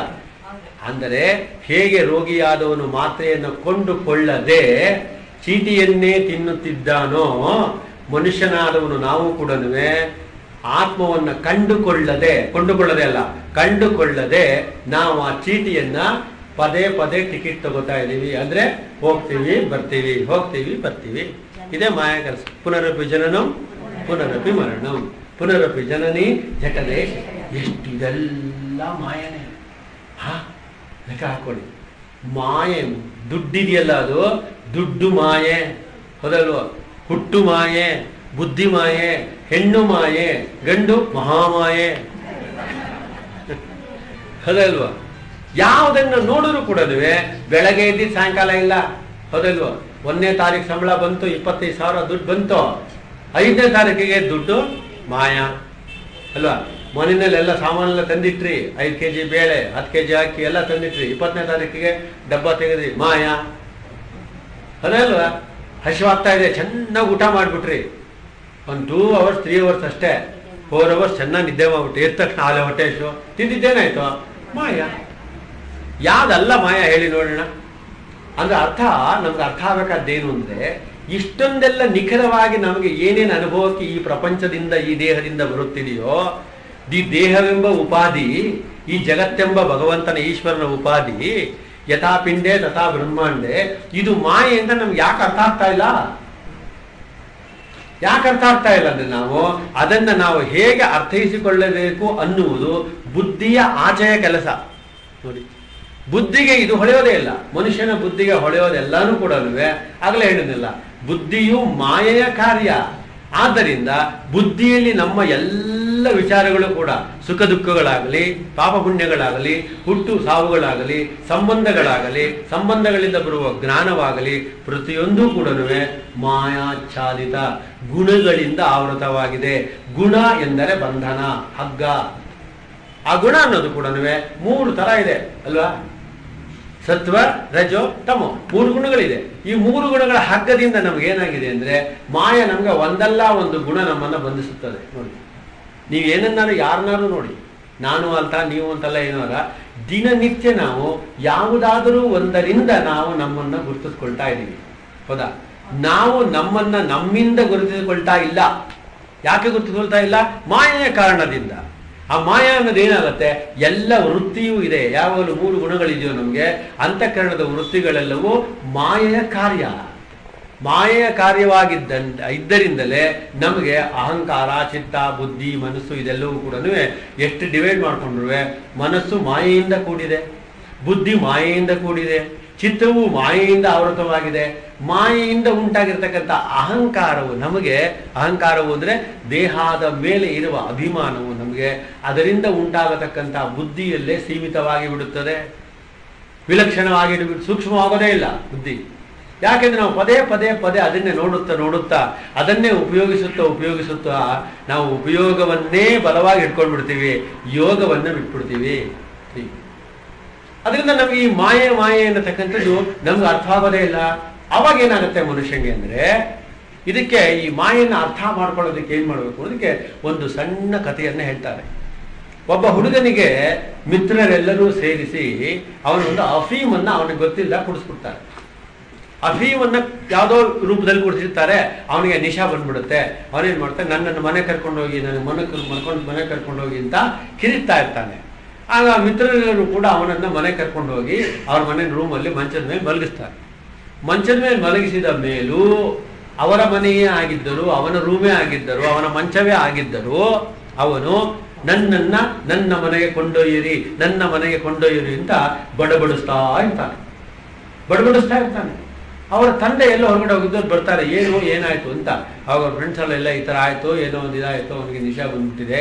ಅವನು ಯಾವುದೋ ಗಾಂಜಾನ ಗಿಂಜಾನ ಕುಡ್ಬಿಟ್ಟಿಯಲ್ಲ ಫೀಮ್ ಕುಡ್ಬಿಟ್ಟಿರೋ ಥರ ಕಾಣುತ್ತೆ. ಆಗ ಅವ್ರ ತಂದೆ ಏನು ಮಾಡಿದ್ರು, ಒಂದಷ್ಟು ಮಜ್ಜಿಗೆಯನ್ನು, ನೀರು ಮಜ್ಜಿಗೆಯನ್ನು ಕುಡಿಸ್ತಾರೆ. ಒಂದೆರಡು ಲೋಟ. ಮೆಲ್ಲ ಮೆಲ್ಲಗೆ ಮೆಲ್ಲಗೆ ಬರ್ತಾನೆ. ನೋಡ್ಕೋತಾನೆ ತನ್ನ ಮಂಚದ ಮೇಲೆ ಇದ್ದಾನೆ ತನ್ನ ಮನೇಲೇ ಇದ್ದಾನೆ ತನ್ನ ರೂಮಲ್ಲೇ ಇದ್ದಾನೆ ತನ್ನ ಫ್ರೆಂಡ್ಸೇ ಎಲ್ಲರೂ ಯಾಕೋ ಕಿರುತ್ತಿದ್ದೆ ಯಾಕೋ ನೀನು ಮನೆ ಕರ್ಕೊಂಡು ಹೋಗುತ್ತ, ನೀನು ರೂಮ್ ಬಂದ ಮೇಲೂ ನೀನು ಬಡಬಡಿಸ್ತಿದ್ದೆಯಲ್ಲ ಯಾಕೆ? ನಂಗೆ ಗೊತ್ತಿಲ್ಲ. ನನಗೆ ಗೊತ್ತಿಲ್ಲ ಅಂದ್ರೆ? ನನಗೆ ಗೊತ್ತಿಲ್ಲ ಅಂತ ನೀವು ಹೇಳ್ತಾ ಇರೋದು ಮಾಯೆ. ಜೊತೆಗೆ, ಬರೀ ಗೊತ್ತಿಲ್ಲ ಅನ್ನೋದು ಮಾಯೇನಾ? ಇವಾಗ ನೋಡೋಣ, ಭಿನ್ನ ಭಿನ್ನ ನೋಡೋಣ. ನನಗೆ ಗೊತ್ತಿದೆ ಅಂತಿದ್ದೀನಲ್ಲ ಅದ್ಯಾವ್ದದು? ನನಗೆ ಗೊತ್ತಿದೆ ಅಂತಿದ್ದೀನಲ್ಲ ಅದೇನದು? ಅದ್ ಈಗ ತಾನೇ ನೋಡುದಿಲ್ಲ ನೀವು. ಅಸದ್ವಸ್ತುವೂ ಅಲ್ಲ ಅಲ್ಲ ಭಿನ್ನವೂ ಅಲ್ಲ ಅಭಿನ್ನವೂ ಅಲ್ಲ ಆದ್ಮೇಲೆ ನಿಮ್ಗೆ ನನಗೆ ಗೊತ್ತಿಲ್ಲ ಅನ್ನೋದು ಮಾಯೆ ಅಂತ ನೀವು ಅನ್ನೋದಾದ್ರೆ ನನಗೆ ಗೊತ್ತಿದೆ ಅನ್ನೋದು ಮಾಯೆನೇ. ನನಗೆ ಗೊತ್ತು ಗೊತ್ತಿಲ್ಲ ಅಂತ ಅನ್ನೋದು ವಿರುದ್ಧವಾದದ್ದು ಆಗೋಯ್ತಲ್ಲ. ಹೌದಾ? ಹಾಗಾದ್ರೆ ಮಾಯೆ ಅಂದ್ರೆ ಏನು? ಪ್ರಶ್ನೆ. ಹೌದಾ? ಅಂದ್ರೆ ಅರ್ಥ ಏನು? ನಾವು ನಮ್ಮ ಇದು ಹೋಗತಕ್ಕಂಥ ಶರೀರವನ್ನೇ ಹಿಡಿದುಕೊಂಡು ಇದನ್ನೇ ಶಾಶ್ವತವೆಂದು ನೋಡಿ, ಈ ಶರೀರ ಶಾಶ್ವತ ಅಲ್ಲ ಅಂತ ನಮಗೆ ಗೊತ್ತಿಲ್ವಾ? ಗೊತ್ತಿದ್ರೆ ಯಾಕೆ ಹೇಳ್ತಾ ಇದ್ದೀವಿ? ಹಾಗಾದ್ರೆ ಗೊತ್ತಿಲ್ಲ ಏ ಗೊತ್ತಿಲ್ಲ ಅಂದಮೇಲೆ ನೀವು ಗೊತ್ತಿಲ್ಲದೆ ಇರೋದನ್ನ ಹೇಗೆ ನಾವು ಮಾಡ್ತೀರಿ? ಹೌದಾ? ಗೊತ್ತಿಲ್ಲದೆ ಇರೋದ್ರ ಬಗ್ಗೆ ಅಳಬೇಕಾಗಿಲ್ಲ. ಅಲ್ವಪ್ಪ ನಮ್ಗೆ ಅಳಬೇಕಾದ್ರೆ ಗೊತ್ತಿರಬೇಕು. ಸ್ವಲ್ಪ ನಿಧಾನ ಕೆಲಸ ಮಾಡಿ. ನಾವು ಅಳಬೇಕಾದ್ರೆ ನಮಗೆ ಕಾರಣ ಗೊತ್ತಿರಬೇಕು. ಅಲ್ವಾ? ಆದ್ರೆ ನಾವು ಕೇಳ್ತಾ ಇದ್ದೀವಿ ದೇಹ ಶಾಶ್ವತನಾ? ಅಲ್ಲ, ಅದು ಗೊತ್ತು ತಾನೆ. ಯಾಕೆ ಹೇಳ್ತಿದ್ದೀರಿ? ಗೊತ್ತಿದ್ರೆ ಅಳ್ಕೂಡ್ದಲ್ವಾ? ಹಾಗಾದ್ರೆ ನಮಗೆ ಗೊತ್ತಿದೆಯೋ ಗೊತ್ತಿಲ್ವೋ ನಮಗೆ ಗೊತ್ತಿದೆಯೋ ಗೊತ್ತಿಲ್ಲವೋ, ಅದು ಕೂಡ ಗೊತ್ತಿಲ್ಲ. ತುಂಬಾ ತಳಗಡೆ ಲೆವೆಲಲ್ಲಿ ನಾನು ಇವಾಗ ಮಾತಾಡ್ತಾ ಇರೋದು ಇವತ್ತು. ನಾನು ಉಪನಿಷತ್ ಮೇಲ್ಗಡೆ ಲೆವೆಲಲ್ಲಿ ಮಾತಾಡ್ತಾ ಇಲ್ಲ ಇದನ್ನ. ಯಾಕೆಂದ್ರೆ ಈ ಮಾಯಾ ನಿರೂಪಣೆ ಅನ್ನೋದು ತುಂಬಾ ಕಷ್ಟ. ಕಷ್ಟ ಅಂದ್ರೇನು? ಕಷ್ಟ ಅಂತ ಯಾಕೆ ಹೇಳ್ತಿದ್ದೀನಿ ಅಂದ್ರೆ ಒಂದೊಂದು ಸತಿ ಒಂದೊಂದು ತರ ಅರ್ಥ ಆಗುತ್ತೆ. ಒಬ್ಬೊಬ್ಬರು ಒಂದೊಂದು ತರ ಹೇಳ್ತಿರ್ತಾರೆ. ಒಬ್ಬೊಬ್ಬರು ಒಂದೊಂದು ತರ ಹೇಳ್ತಾ ಇರುವಾಗಲೂ ನಿಮಗೆ ಅವ್ರು ಹೇಳ್ತಿರೋ ಹಾಗೆ ಅರ್ಥ ಆಗಲ್ಲ. ನೀವು ತರಲಿಲ್ಲ ಇನ್ನೊಂದು ತರ ಅರ್ಥ ಆಗ್ತಾರೆ ಹೌದಲ್ವಾ ಇವಾಗ ನಾನೆಲ್ಲ ಹೋದ್ಮೇಲೆ ನಿಮ್ ಬಾಗ್ಲಾಕ್ಬಿಟ್ಟು ನೀವೆಲ್ಲ ಮಾಯ ಬಗ್ಗೆ ಮಾತಾಡಿದ್ರಿ ಯದ್ವಾ ತದ್ವಾ ಮಾತಾಡ. ಯಾಕೆ? ಮಾಯ. ಹೌದಾ? ಅದರಿಂದ ನಮಗೆ ಮೇಲ್ನೋಟಕ್ಕೆ ಒಂದು ಕಾಣುತ್ತೆ. ಮೇಲ್ನೋಟಕ್ಕೆ ಕಾಣುವುದನ್ನ ನೋಡಿ ಅದನ್ನ ಒಳಗಡೆ ಇದಿರಬಹುದಾ ಅಂತ ಊಹೆ ಮಾಡ್ತಿರ್ತೀವಿ. ಅದು ನಿಜವಾಗ್ಲೂ ಒಳಗಡೆ ಇರೋದೇ ಬೇರೆ, ಅದನ್ನ ತಿಳ್ಕೊಳ್ತಾ ಇರೋದೇ ನಾವು ಬೇರೆ, ನಿಜವಾಗ್ಲೂ ಅದು ಆಗ್ತಾ ಇರತಕ್ಕಂಥದ್ದೇ ಬೇರೆ. ಹೌದಲ್ವಾ? ಹಾಗಾದ್ರೆ ಯಾವುದು ಶಾಶ್ವತ? ಯಾವುದು ಅಶಾಶ್ವತ? ಯಾವುದು ತಾತ್ಕಾಲಿಕ? ನೋಡಿ, ನಾನು ನಾನು ಅನ್ನುವ ನಿಜ ನನ್ನ ಸ್ವರೂಪವನ್ನು ಬಿಟ್ಟು ಅಲ್ಲಿಂದ ಮಿಕ್ಕಿದೆಲ್ಲವೂ ಅಶಾಶ್ವತವೇ. ಇರುವಾಗ ತಾತ್ಕಾಲಿಕವೇ. ನೋಡಿ, ತಾತ್ಕಾಲಿಕವಾದದ್ದರಿಂದ ನನ್ನ ಒಳಗಡೆ ಉಂಟಾಗುವ ಸುಖದ ಭಾವ, ದುಃಖದ ಭಾವ, ಪಾಪದ ಭಾವ, ಪುಣ್ಯದ ಭಾವ, ಯೌವನದ ಭಾವ, ಹೌದಲ್ವಾ? ಜಾತಿಯ, ಧರ್ಮದ, ಕುಲದ ಏನೇನು ಭಾವಗಳು ತಲೆಯಲ್ಲಿ ತುಂಬಿಕೊಂಡಿದೆಯೋ ಅದೆಲ್ಲವೂ ಕೂಡ ಅನಾತ್ಮವೇ, ತಾತ್ಕಾಲಿಕವೇ, ಮಾಯೆ. ಗೊತ್ತಾನೆ ಅದರಿಂದ ಉಂಟಾಗತಕ್ಕಂಥದ್ದು ಹಾಗೆ. ಏನೇನು ಭಾವ ಇದು ಹಾಗೆ? ಚಿನ್ನದಿಂದ ನನಗೆ ಸುಖ ಅಂತ ಅನ್ಕೊಳ್ಳಿ ಅಂತ ಇಟ್ಕೊಳ್ಳಿ. ಚಿನ್ನದಿಂದ ಸುಖವಾಗಿದ್ದರೆ, ಚಿನ್ನ ತುಂಬ ಇಟ್ಟುಕೊಂಡಿರುವವರೆಲ್ಲರೂ ಸುಖವಾಗಿರಬೇಕು, ದುಃಖದ ನೆರಳೆ ಬರ್ಕೊಡುದು. ಹಾಗೆ ನೋಡಿದ್ದೀರಾ ಎಲ್ಲರೂ? ಇಲ್ಲ, ದಿವಸ ಆಟೋದಲ್ಲಿ ಬೆಳಗಿನ ಜಾವ ಅನೌನ್ಸ್ ಮಾಡ್ತಾರೆ. ಅಲ್ವಾ? ನೀವು ಹಾಕೊಂಡಿರೋ ಅನ್ನೋದು ಅವ್ರು ಹಾಕೊಂಡಿರೋ ಚಿನ್ನಕ್ಕೆ ಅವ್ರಿಗೆ ಹೌದಾ? ಓಕೆ ಗಂಡನೇ ದೇವರು. ಹೆಂಗಸರಿಗೆ ಹೇಳೋದು, ಅಲ್ವಾ? ಗಂಡನೇ ದೇವರು ಅಂತ ತಿಳ್ಕೊಂಡಿದ್ರೆ ಎಲ್ಲ ಮದುವೆಯಾದವರಿಗೂ ಪರಮ ಸುಖ ಇರಬೇಕು. ಯಾರಾದರೂ, ಎಂದಾದರೂ, ಅಥವಾ ಯಾವುದೋ ಒಂದು ಕಾಲದಲ್ಲಿ ಸದಾ ಸರ್ವದ ಗಂಡನಿಂದ ಹೆಂಡತಿ, ಹೆಂಡತಿಯಿಂದ ಗಂಡ, ನಾನು ಪರಮ ಸುಖಿ ಅಂತ ಹೇಳಿದ್ದು, ಇದೆಯೋ? ಹೇಳಿದ್ದೇ ಇಲ್ಲ ಅಂತಿದ್ದೀರಾ? ಇನ್ನು ಅನುಭವಿಸಿದ್ದೀರ? ಅದಲ್ವಾ ಸಂತಾನದಿಂದ ಸುಖ. ನೋಡಿ. ಶಾಶ್ವತ ಅದು ಅನ್ನೋದಾದ್ರೆ, ಹೌದಾ? ಸಂತಾನ ಇರೋರೆಲ್ಲರೂ ಸುಖವಾಗಿದ್ದಾರಾ? ಇಲ್ಲ. ದುಡ್ಡಿರೋರೆಲ್ಲ ಸುಖವಾಗಿದ್ದಾರಾ? ಇಲ್ಲ. ಯೌವನ ಇರೋರೆಲ್ಲ ಸುಖವಾಗಿದ್ದಾರಾ? ಇಲ್ಲ. ವೃದ್ಧಾಪ್ಯದಲ್ಲಿರೋರು ಸುಖವಾಗಿದ್ದಾರಾ? ಇಲ್ಲ. ಸತ್ತೋಗಿರೋರು ಸುಖವಾಗಿದ್ದಾರಾ? ಗೊತ್ತಿಲ್ಲ. ಬದುಕಿರೋರು ಸುಖವಾಗಿದ್ದಾರಾ? ಇಲ್ಲ. ಹುಟ್ಟಿಲ್ದೇ ಇರೋರು ಸುಖವಾಗಿದ್ದಾರಾ? ಗೊತ್ತಿಲ್ಲ. ನೋಡಿ. ಯಾವುದು ಖಚಿತ? ಎಂದೂ ಯಾವುದು ಏನು ನಿರ್ಣಯ ಮಾಡಕ್ಕಾಗದೇ ಇರುವ ಏನು ನೀವು ನೋಡ್ತೀರಿ ಸೃಷ್ಟಿ ಸ್ಥಿತಿ ಲಯ ಎಲ್ಲವನ್ನು? ನಮ್ಮ ಜೀವಿತ ಕಾಲದಲ್ಲಿ ಕಣ್ಣೆರಳಿಸಿ, ಈ ಚರ್ಮ ಚಕ್ಷುಗಳಿಂದ ನಾವು ನೋಡ್ತಾ ಇದೀವಲ್ಲ ಅದೆಲ್ಲವೂ ಕೂಡ, ಈ ಚರ್ಮ ಕಿವಿಗಳಿಂದ ಕೇಳ್ತಾ ಇದೀವಲ್ಲ ಅದೆಲ್ಲವೂ ಕೂಡ ಚರ್ಮದ ನಾಲಿಗೆಯಿಂದ ರುಚಿ ನೋಡ್ತಾ ಇದೀವಲ್ಲ ಅದು ಕಾರಣದಿಂದ ಅದಲ್ವಾ ಗಂಧ ಬರುತ್ತೆ ಮೂಗಿಗೆ ಅಂತ ನೋಡ್ತಾ ಇದೀವಲ್ಲ ಇದನ್ನೆಲ್ಲ ಯೋಚನೆ ಮಾಡಿ. ಅದೆಲ್ಲವೂ ಎಷ್ಟು ಮಟ್ಟಿಗೆ ಮಾಯ ಅನ್ನೋದು ನಿಮ್ಗೆ ಅರ್ಥ ಆಗುತ್ತೆ ಅಂದ್ರೆ, ಒಂದು ಗಾಳಿಯು ಒಂದು ಕಡೆಯಿಂದ ಬೀಸಿದರೆ ಮಲ್ಲಿಗೆಯ ಗಿಡದ ಮೇಲೆ ಅದು ಬೀಸಿದರೆ ನಿಮಗೆ ಘಮ್ಮನ್ನುತ್ತೆ ಮಲ್ಲಿಗೆಯ ವಾಸನೆ ಅಂತ ನೀವು ಕರೆದ್ರಿ. ನೀವು ಮಲ್ಲಿಗೆ ಕರೆದ್ರಿ ಸುವಾಸನೆ ಅಂತ ಹೇಳಿದ್ರಿ. ಒಂದು ಚರಂಡಿಯ ಮೇಲೆ ಗಾಳಿ ಬೀಸಿದರೆ ಇದು ದುರ್ವಾಸನೆ ಕೆಟ್ಟದ್ದು ಅಂತ ಕರೆದ್ರಿ. ಈಗ ಇದನ್ನ ಇನ್ಸಿಡೆಂಟ್ ನೋಡೋಣ. ಈ ವಾಸನೆ ಅನ್ನತಕ್ಕಂಥದ್ದು ಮಲ್ಲಿಗೆಗೆ ಸಂಬಂಧಪಟ್ಟಿದ್ದು ಚರಂಡಿಗೆ ಸಂಬಂಧಪಟ್ಟಿದ್ದು ಗಾಳಿಗೆ ಸಂಬಂಧಪಟ್ಟಿದ್ದು? ಗಾಳಿಗೆ. ಸಂಬಂಧಪಟ್ಟಿದ್ದ? ನೋಡಿದ್ರ ಮಾಯೆ ಹೇಗೆ ಆಟ ಆಡ್ತದೆ ನಿಮ್ಮನ್ನ ಗಾಳಿಗೆ ಸಂಬಂಧಪಟ್ಟಿದ್ದಾದರೆ ಯಾವಾಗಲೂ ಗಾ ಮಲ್ಲಿಗೆಲೇ ಬ- ಅದೇ ಬರ್ಬೇಕು. ಬರಲ್ವಲ್ಲ? ಹಾಗಾದ್ರೆ ವಾಸನೆ ಅನ್ನೋದು ಗಾಳಿಗೆ ಸಂಬಂಧಪಟ್ಟಿದ್ದು ಅಲ್ಲ, ಮಲ್ಲಿಗೆಗೆ ಸಂಬಂಧಪಟ್ಟಿದ್ದು ಅಲ್ಲ? ನೋಡಿ. ದುರ್ಗಂಧ ಅಂತ ನಾವು ಹೇಳ್ತಾ ಇರೋದು ಆ ಚರಂಡಿಗೆ ಸಂಬಂಧಪಟ್ಟಿದ್ದು ಅಲ್ಲ. ಹೌದಾ? ಯಾರಿಗೆ ಸಂಬಂಧಪಟ್ಟಿದ್ದು? ಈಗ ನೀವು ವಾಸನೆ ನೋಡಕ್ ಆಗದೆ ಇಲ್ಲ, ಯಾವಾಗ? ಇಲ್ಲದೆ ಇದ್ರೆ. ಹೌದಲ್ವಾ? ವಾಸನೆಗೆ ಮೂಗು ಬೇಕೇ ಬೇಕು. ಹೌದಾ ಅಲ್ವಾ? ಹಾಗಾದ್ರೆ ವಾಸನೆಯು ಮೂಗಿಗೆ ಸಂಬಂಧಪಟ್ಟಿದ್ದು ಅಂತ ಮೊದಲ ನೋಟಕ್ಕೆ ನಮಗೆ ಕಾಣುತ್ತೆ. ಅದಕ್ಕೋಸ್ಕರ ಮೂಗು ಮುಚ್ಕೊಳ್ಳೋದು, ಮೂಗು ತೆಕ್ಕೊಳ್ಳೋದು. ಹೌದಲ್ವಾ? ಆದರೆ ಮೂಗಿಗೆ ನಿಜವಾಗಲು ವಾಸನೆಯ ಅನುಭವ ಆಗೋಲ್ಲ. ಯಾಕೆ? ಮೂಗು ಜಡ. ಶರೀರವೇ ಜಡ ಅಲ್ವಾ? ಯೋಚನೆ ಮಾಡಿ. ನಾನು ಮೂಗು ಒಂದೇ ಉದಾಹರಣೆ ಕೊಡ್ತಾ ಇದ್ದೀನಿ. ನಿಮ್ಗೆ ಖುಷಿ ಆಗುತ್ತೆ ಅಂತ. ಕಣ್ಣು, ಕಿವಿ, ಚರ್ಮ ಇದೆಲ್ಲ ನೀವು ಮಾಡ್ಕೋಬೇಕು. ನೆಕ್ಸ್ಟ್ ಇದೇ ಥರನೇ. ಇಲ್ಲ, ಮುಂದಿನ ವಾರ ಡೀಟೇಲಾಗಿ ಮಾಡ್ತೀನಿ. ಹೌದಲ್ವಾ? ಹಾಗಾದ್ರೆ ಇದಕ್ಕೆ ಮೂಗಿಗೆ ಸಂಬಂಧಪಟ್ಟಿದ್ದು ವಾಸನೆ, ಆಹಾ, ಇದು ಒಳ್ಳೆಯ ವಾಸನೆ, ಇದು ಕೆಟ್ಟ ವಾಸನೆ ಅಂತ ತೀರ್ಮಾನ ಮಾಡೋದು ಮೂಗಿನ ಹಿಂದೆ ಒಂದಿದೆ. ಅದರಿಂದ ಮೂಗಿಗೆ ಅದರ ಸ್ವತಂತ್ರ ಇಲ್ಲ. ನೋಡಿ, ಎಂತ ಮಾಯ ಇದೆ. ನಿಮಗೆ ಗೊತ್ತಿತ್ತಾ ಇದು? ಗೊತ್ತಿತ್ತು. ನಾನು ಹೇಳಕ್ಕೋ ಹೌದಲ್ವಾ? ಹೌದಲ್ವಾ ಅಂತ ನೀವು ಅನ್ಕೋಬೇಕಾದ್ರು, ಮೊದಲೇ ನಿಮ್ಮಲ್ಲಿ ಅದಿರ್ಬೇಕು ಅಂದ್ರೆ ಮೊದಲೇ ಇತ್ತು, ಬೇರೆ ತರ ತಿಳ್ಕೊಂಡಿದ್ರಿ. ಅದು ಮಾಯ. ಹೌದಾ?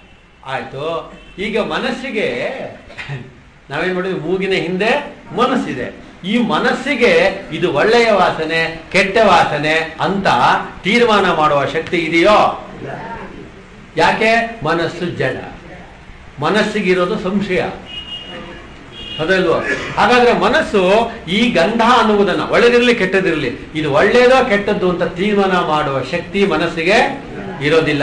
ಅದು ಕೇವಲ ಜ್ಞಾನವನ್ನ ಬುದ್ಧಿಗೆ ಕೊಡುತ್ತದೆ.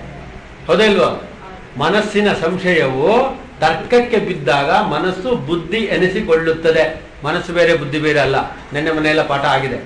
ಅದೆಲ್ಲವೂ ವೃತ್ತಿ. ಹೌದಾ? ಅಂತಃಕರಣ ವೃತ್ತಿ ಯಾವ್ದು ಮನಸ್ಸು, ಬುದ್ಧಿ, ಚಿತ್ತ, ಅಹಂಕಾರ. ಇದಿಷ್ಟು ವೃತ್ತಿ. ಮೊದಲು ನೋಡಿ, ಮನಸ್ಸಿಗೆ ಇದು ಒಳ್ಳೆಯದು, ಇದು ಕೆಟ್ಟದು ಅಂತ ತೀರ್ಮಾನ ಶಕ್ತಿ ಇಲ್ಲ. ಸಂಶಯ ಪಡಲಿದೆ. ಅದು ಬುದ್ಧಿಗೆ ಕೊಟ್ಬಿಟ್ಟು ಸುಮ್ಮನೆ ಬುದ್ಧಿಯಲ್ಲಿ ತರ್ಕ, ಇದು ಸುಗಂಧ, ಇದು ದುರ್ಗಂಧ ಅಂತ ಹೇಳ್ತೀವಿ. ಆದರೆ ಎಷ್ಟೇ ತರ್ಕ ಮಾಡಿದರೂ ಬುದ್ಧಿಯಲ್ಲಿ ತೀರ್ಮಾನ ಆಗೋಲ್ಲ. ಅದಲ್ವ? ಬುದ್ಧಿಯಲ್ಲಿ ತೀರ್ಮಾನ ಆಗೋದಕ್ಕೆ ಯಾಕೆ ಆಗೋದಿಲ್ಲ ಅಂದ್ರೆ ಬುದ್ಧಿಯಲ್ಲಿ ಯಾವಾಗಲೂ ತರ್ಕ ಇರುತ್ತದೆ, ನಿರ್ಣಯ ಮಾಡೋಕ್ಕಾಗೋದಿಲ್ಲ. ನೋಡಿ, ನಿರ್ಣಯ ಆಗಿಬಿಟ್ಟರೆ ಅದು ಚಿತ್ತವಾಗಿ ಬಿಡುತ್ತದೆ, ದೃಢತೆ ಬಂದ್ಬಿಡುತ್ತೆ. ನಿರ್ಣಯ ಮಾಡುವ ಶಕ್ತಿ ಬುದ್ಧಿಗೆ ಇಲ್ಲ. ಬುದ್ಧಿಗೆ ಇರುವ ಶಕ್ತಿ ತರ್ಕ ಮಾತ್ರ. ಹೌದಾ? ತರ್ಕ ಆದ್ರಿಂದ ಬುದ್ಧಿಯು ಮಾಯೆಯ ಕಾರ್ಯ. ಆದ್ದರಿಂದ ಈ ಬುದ್ಧಿಯಲ್ಲಿ ಕೂಡ ನಿರ್ಣಯ ಮಾಡೋಕ್ಕಾಗಲ್ಲ. ಹಾಗಾದ್ರೆ ಬುದ್ಧಿಗೂ ಮೇಲೊಬ್ಬ ಇದ್ದಾರೆ, ಅವರು ಇದನ್ನು ನೋಡುತ್ತಾರೆ. ಹೌದಲ್ವಾ? ಹಾಗಾದ್ರೆ ನೆಕ್ಸ್ಟ್ ಚಿತ್ತ. ಹೌದಲ್ವಾ ಚಿತ್ತದಲ್ಲಿ ಇದು ನಮಗೆ ಮೂಡಿತು ಚಿತ್ತದಲ್ಲಿ ಏನೇನಿದೆಯೋ, ಚಿತ್ತದಲ್ಲಿರುವ ಎಲ್ಲ ವಿಷಯಗಳು ಮಾಯೆಯ ಕಾರ್ಯವಾಗಿರುವುದರಿಂದ ಹೊತ್ತಾನೆ. ಮಾಯೆಯ ಕಾರ್ಯ ತಾನೇ ಬುದ್ಧಿ. ಅದ್ರ ಅಂತಃಕರಣ ಪೂರ್ತಿ ಯಾರ್ದು ಕಾರ್ಯ? ಮಾಯೆಯ ಕಾರ್ಯ. ನಮ್ಗೆ ಅರ್ಥ ಆಗೋದು ಮಾಯೆಯಲ್ಲಿರೋದು ಮಾತ್ರ ಜಾಲಾಡ್ತಾ ಇರೋದು. ಅದರಿಂದ ಮಾಯೆ ಅನ್ನತಕ್ಕಂಥದ್ದು ಸೃಷ್ಟಿ. ಸೃಷ್ಟಿ ಮಾಯೆಯಿಂದಲೇ ಬಂದಿರೋದು. ಈ ಮಾಯೆಯಿಂದ ಬಂದಿರುವ ಸೃಷ್ಟಿನಲ್ಲೇನೆ ಈ ಶರೀರ, ಮನಸ್ಸು ಎಲ್ಲ ಇರೋದು. ಹೌದಲ್ವಾ? ಹಾಗಾದ್ರೆ ಇದು ಎಲ್ಲಿಂದ ಸೃಷ್ಟಿಯಾಗಿದೆ? ಮಾಯೆಯಿಂದಲೇ ಬಂದಿದೆ. ಮಾಯೆಯ ಬಗ್ಗೆ ಎಷ್ಟು ತಿಳ್ಕೊಳಕ್ಕಾಗತ್ತೆ? ಅಷ್ಟು ಮಾತ್ರನೇ ಆಗತ್ತೆ. ಹೌದಲ್ವಾ? ಹಾಗಾದ್ರೆ ಚಿತ್ತದಲ್ಲಿ ಮೂಡುವ ಇದೆಲ್ಲದರ ಭಾವನೆಗಳು, ಜ್ಞಾನಗಳು ಕೂಡ ಚಿತ್ತ ಭ್ರಮ. ನೋಡಿ, ಚಿತ್ತ ವಿಭ್ರಮ ಕಾರಣಂ. ಚಿತ್ತದಲ್ಲಿ ನಮಗೆ ದೃಢತೆ ಮೂಡುತ್ತೆ. ಏನೇ? ಇದೇ ನಿಜ ಇರಬಹುದು ಅಥವಾ ಇದ ನಿಜ ಇದ ಆಗಬಹುದು ಅಂತ.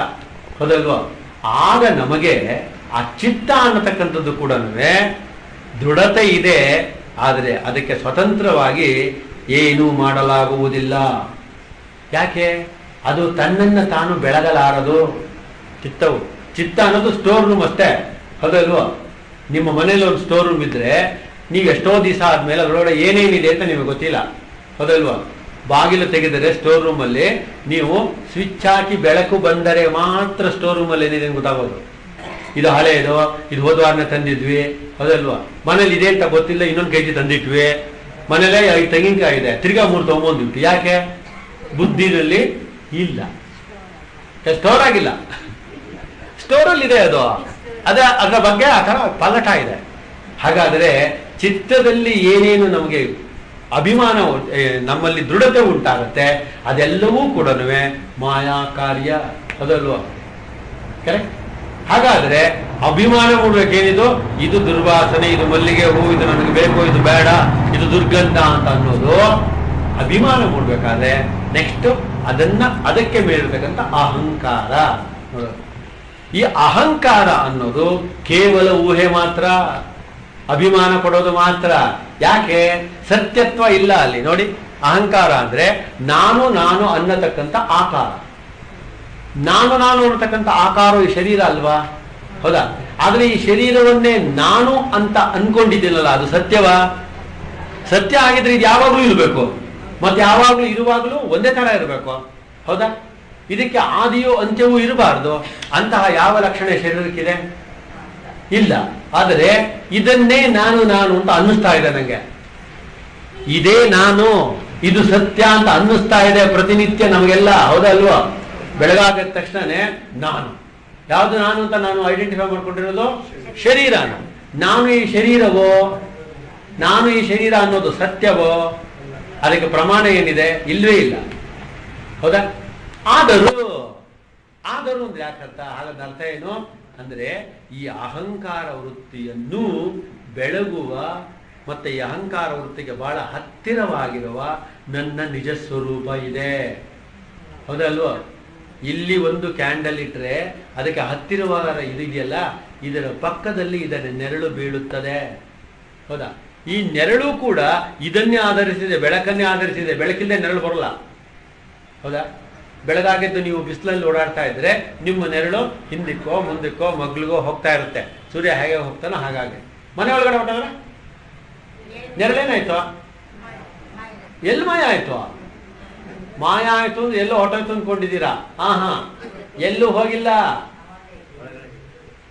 ನೀವು ಒಳಗಡೆ ಬಂದ ತಕ್ಷಣ ನಿಮ್ಮ ಛಾಯೆಯು ನಿಮ್ಮಲ್ಲೇ ಒಂದಾಯಿತು. ಅಂದ್ರೆ ಅಹಂಕಾರವು ಅಹಂ ಸ್ವರೂಪದಲ್ಲಿ ಒಂದಾಗಿ ಬಿಡುವುದೇ ಅಧ್ಯಾತ್ಮದ ವಿಚಾರ.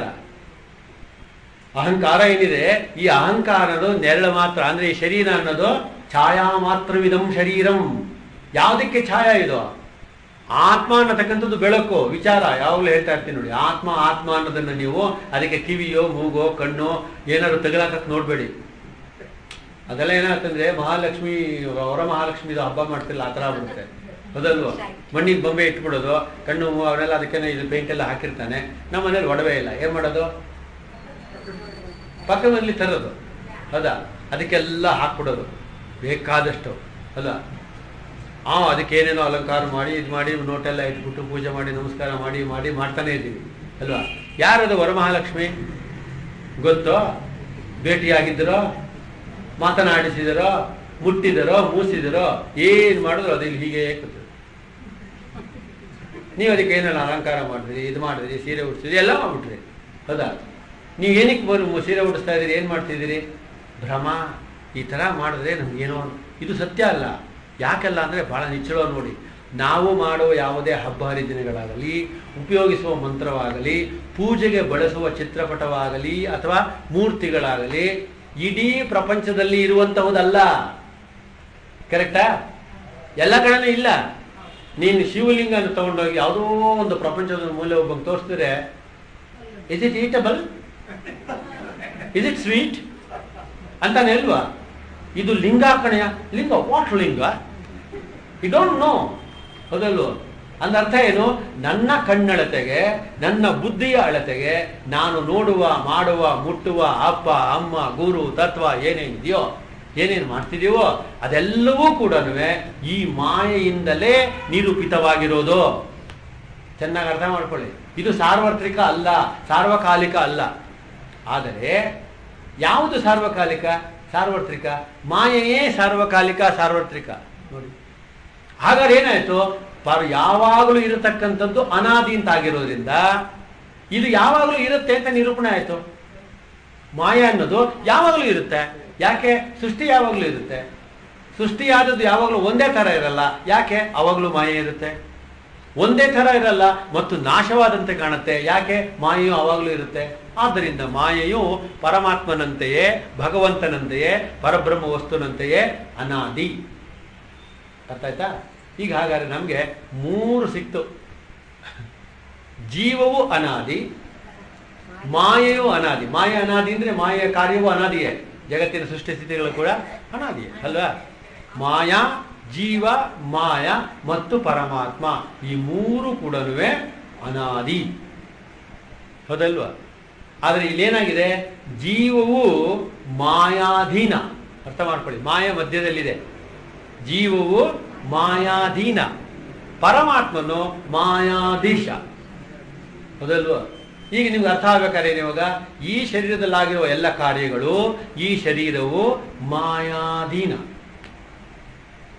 ಈ ಶರೀರ, ಇಂದ್ರಿಯಗಳು, ಮನಸ್ಸು, ಬುದ್ಧಿ, ಚಿತ್ತ, ಅಹಂಕಾರ, ಮತ್ತು ಅದು ಮಾಡುವ ಕಾರ್ಯಗಳು, ಅದರಿಂದ ಉಂಟಾಗತಕ್ಕಂಥ ಅನುಭವಗಳು, ಇದೆಲ್ಲವೂ ಮಾಯೆ ಮತ್ತು ಮಾಯೆಯ ಕಾರ್ಯ. ಅದಲ್ವಾ ಹ್ಮ್? ಆದರೆ ನಾನು ನಾನು ಅನ್ನುವ ನಿಜ ಸ್ವರೂಪದಲ್ಲಿರುವ ಆತ್ಮ ಇದೆಲ್ಲವನ್ನು ಬೆಳಗ್ತಾ ಇರೋದಿಲ್ಲ ಆತ್ಮ ಅದು ಆತ್ಮವನ್ನು ಇದಾವುದು ಬೆಳಗಲಾರದು. ಹೌದಾ? ಈಗ ನೋಡಿ ಟ್ಯೂಬ್ ಲೈಟನ್ನ ಸೇರಿಕೊಂಡು ಟ್ಯೂಬ್ ಲೈಟನ್ನು ಸೇರಿಕೊಂಡು ಟ್ಯೂಬ್ ಲೈಟಿಂದ ಬರೋ ಬೆಳಕಿದೆಯಲ್ಲ ಈ ಬೆಳಕನ್ನ ಬರೀ ಒಂದು ಟ್ಯೂಬ್ ಲೈಟಲ್ಲಿ ಇಟ್ಬಿಟ್ರೆ ಆ ಬೆಳಕನ್ನು ಅದು ಬೆಳಗಕ್ಕಾಗತ್ತಾ? ಇಲ್ಲಿರೋ ಯಾವುದಾದ್ರೂ ವಸ್ತು ಬೆಳಗಕ್ಕಾಗತ್ತಾ? ಇಲ್ಲ. ಆದರೆ ಆ ವಿದ್ಯುತ್ ಶಕ್ತಿ ಕಾಣಲ್ಲ.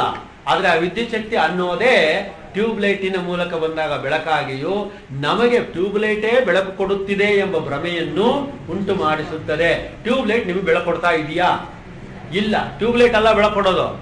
ಟ್ಯೂಬ್ಲೈಟಿನ ಮೂಲಕ ಯಾರದು ಬಂದದ್ದು? ನೋಡಿ. ಹಾ, ವಿದ್ಯುತ್ ಶಕ್ತಿ ಅಲ್ವಾ? ಆ ಶಕ್ತಿ ಇದೆಯಲ್ಲ, ಆ ಶಕ್ತಿ ಅನ್ನೋದು ಕಾಣಲ್ಲ, ಮುಟ್ಟಿದ್ರೆ ಮಾತ್ರ ಕರೆಂಟ್ ಹೊಡೆಯೋದು. ಅಲ್ಲಪ್ಪ? ಆದ್ದರಿಂದ ಈ ನಾವು ಮಾಯೆಯನ್ನ ಅರ್ಥ ಮಾಡ್ಕೊಂಡಿದ್ದೀವಿ, ಈ ಮಾಯೆಯನ್ನು ತೆಲ್ಲ ತಿಳ್ಕೊಂಬಿಟ್ಟಿದ್ದೀವಿ ಅಂತ ಅಂತಿದೀವಲ್ಲ ಇದನ್ನ ನಾವು ಯಾವಾಗಲೂ ಪರಿಪೂರ್ಣವಾಗಿ ನೋಡಿದಾಗ ಇದು ಪರಮೇಶ್ವರ ಶಕ್ತಿ, ಇದು ಅವ್ಯಕ್ತ ನಾಮ, ಇದಕ್ಕೆ ಅವ್ಯಕ್ತ ಎಂದು ಹೆಸರಾಗಿದೆ, ಇದು ಮೂರು ತ್ರಿಗುಣಗಳು, ತ್ರಿಗುಣಗಳಿಂದ ಕೂಡಿದೆ, ಇದು ಅವಿದ್ಯಾ, ನೋಡಿ. ಹಾಗಾದ್ರೆ ಅವಿದ್ಯೆ ಅನ್ನೋದು ವಿದ್ಯೆಯಿಂದಲೇ ಹೋಗಬೇಕಾಗಿರೋದು, ವಿದ್ಯೆಯಿಂದಲೇ ಇದು ಹೋಗಬೇಕಾಗಿರೋದು ಅಂತಂದ್ರೆ ಯಾವುದರಿಂದ ಹೋಗಬೇಕು? ಅನ್ನುವುದಕ್ಕೆ ಉದಾಹರಣೆ ಇರೋದು ಕೆಲವೇ. ನೋಡಿ, ಇವಾಗ ನೋಡಿ, ಕತ್ತಲಲ್ಲಿ ನಮಗೆ ಒಂದು ಮೋಟು ಮರ ಕಂಡಿತು ನಮ್ಮ ಮನೆಯ ಮುಂದೆ. ಆದರೆ ಅದು ಭೂತದಂತೆ ಕಂಡಿತು. ಆ ಭೂತವು ನನ್ನ ಸತ್ತು ಹೋದ ಅತ್ತೆಯ ಹಾಗೆಯೇ ಕಂಡಿತು. ಅಳಿಯ ಇರ್ಬೋದು ಅಥವಾ ಸೊಸೆ ಇರ್ಬೋದು, ಅಲ್ವಾ?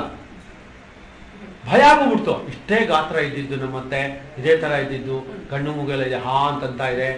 ಅಥವಾ ಮಾಮ ಆದರೂ ಆಗ್ಬೋದು. ಬೇಕಾದ್ರೆ ನೀವು ಚೇಂಜ್ ಮಾಡ್ಕೋಬೋದು. ಮೋಟು ಮರ ಕರೆಕ್ಟಾಗಿ ಅದೇ ಹೈಟು ಅದೇ ಇದು, ಅದೇ ಗುಂಡು ಗುಂಡಿಗೆ. ಯಾ, ಇದು ಏನಿದು? ಅಲ್ವಾ?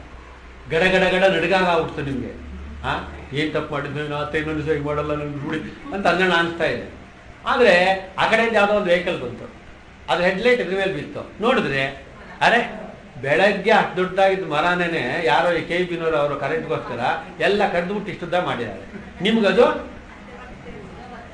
ಅದಲ್ವಾ? ಈಗ ಬೆಳಕಿನಲ್ಲಿ, ಯಾರೋ ಬಿಟ್ಟ ಬೆಳಕಿನಲ್ಲಿ ಅದು ನಮಗೆ ಮೋಟು ಮರ ಅಂತ ಗೊತ್ತಾಯ್ತು ಹೌದಾ? ಅಲ್ಲಿ ಭೂತನೂ ಇಲ್ಲ, ಅತ್ತೆನೂ ಇಲ್ಲ, ಮಾವನೂ ಇಲ್ಲ.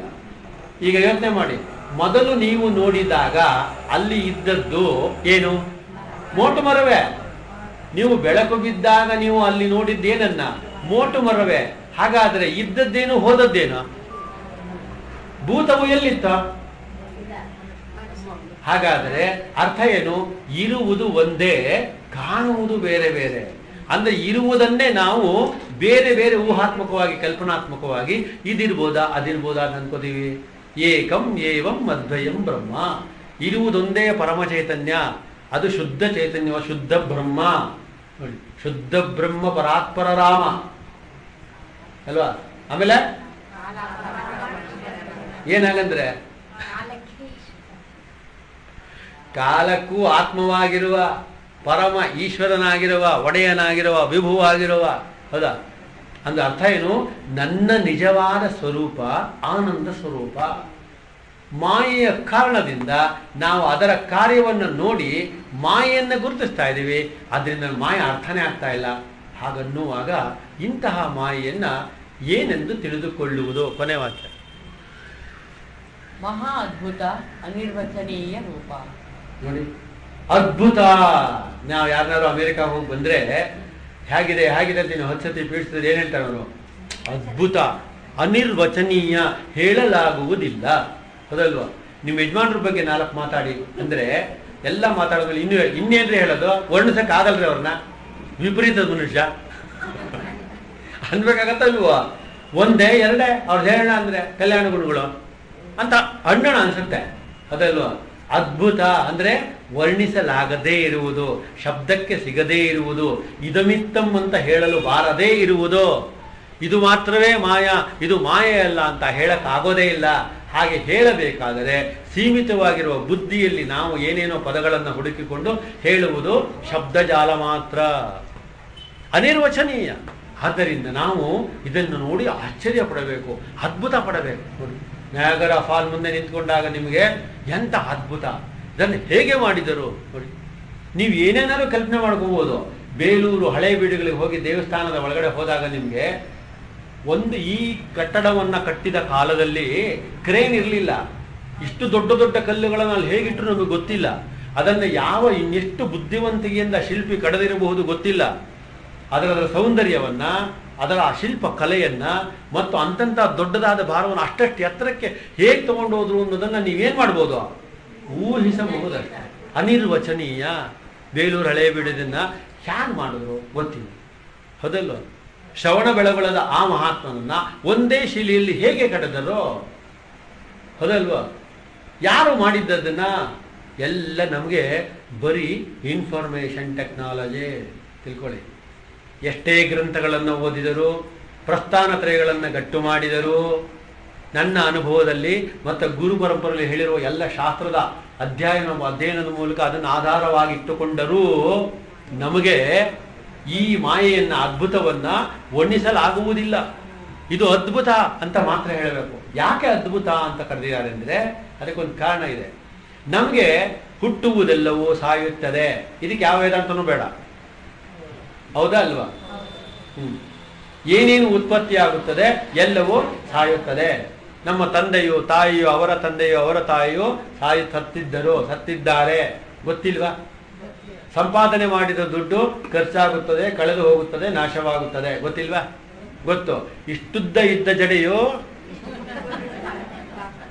ಹಾಗೆ ಆಗತ್ತೆ ಗೊತ್ತಿಲ್ವಾ? ಗೊತ್ತು. ಸುಂದರವಾದ, ಏನು? ದಾಳಿಂಬೆ ಅಂತ ಇರತಕ್ಕಂತಹ ದಂತ ಪಂಕ್ತಿಯು ಇನ್ನೊಂದು ದಿವಸ ವಕ್ರದಂತವಾಗುತ್ತದೆ. ಅಥವಾ ಉದುರಿ ಹೋಗುತ್ತೆ. ಗೊತ್ತಿಲ್ವಾ?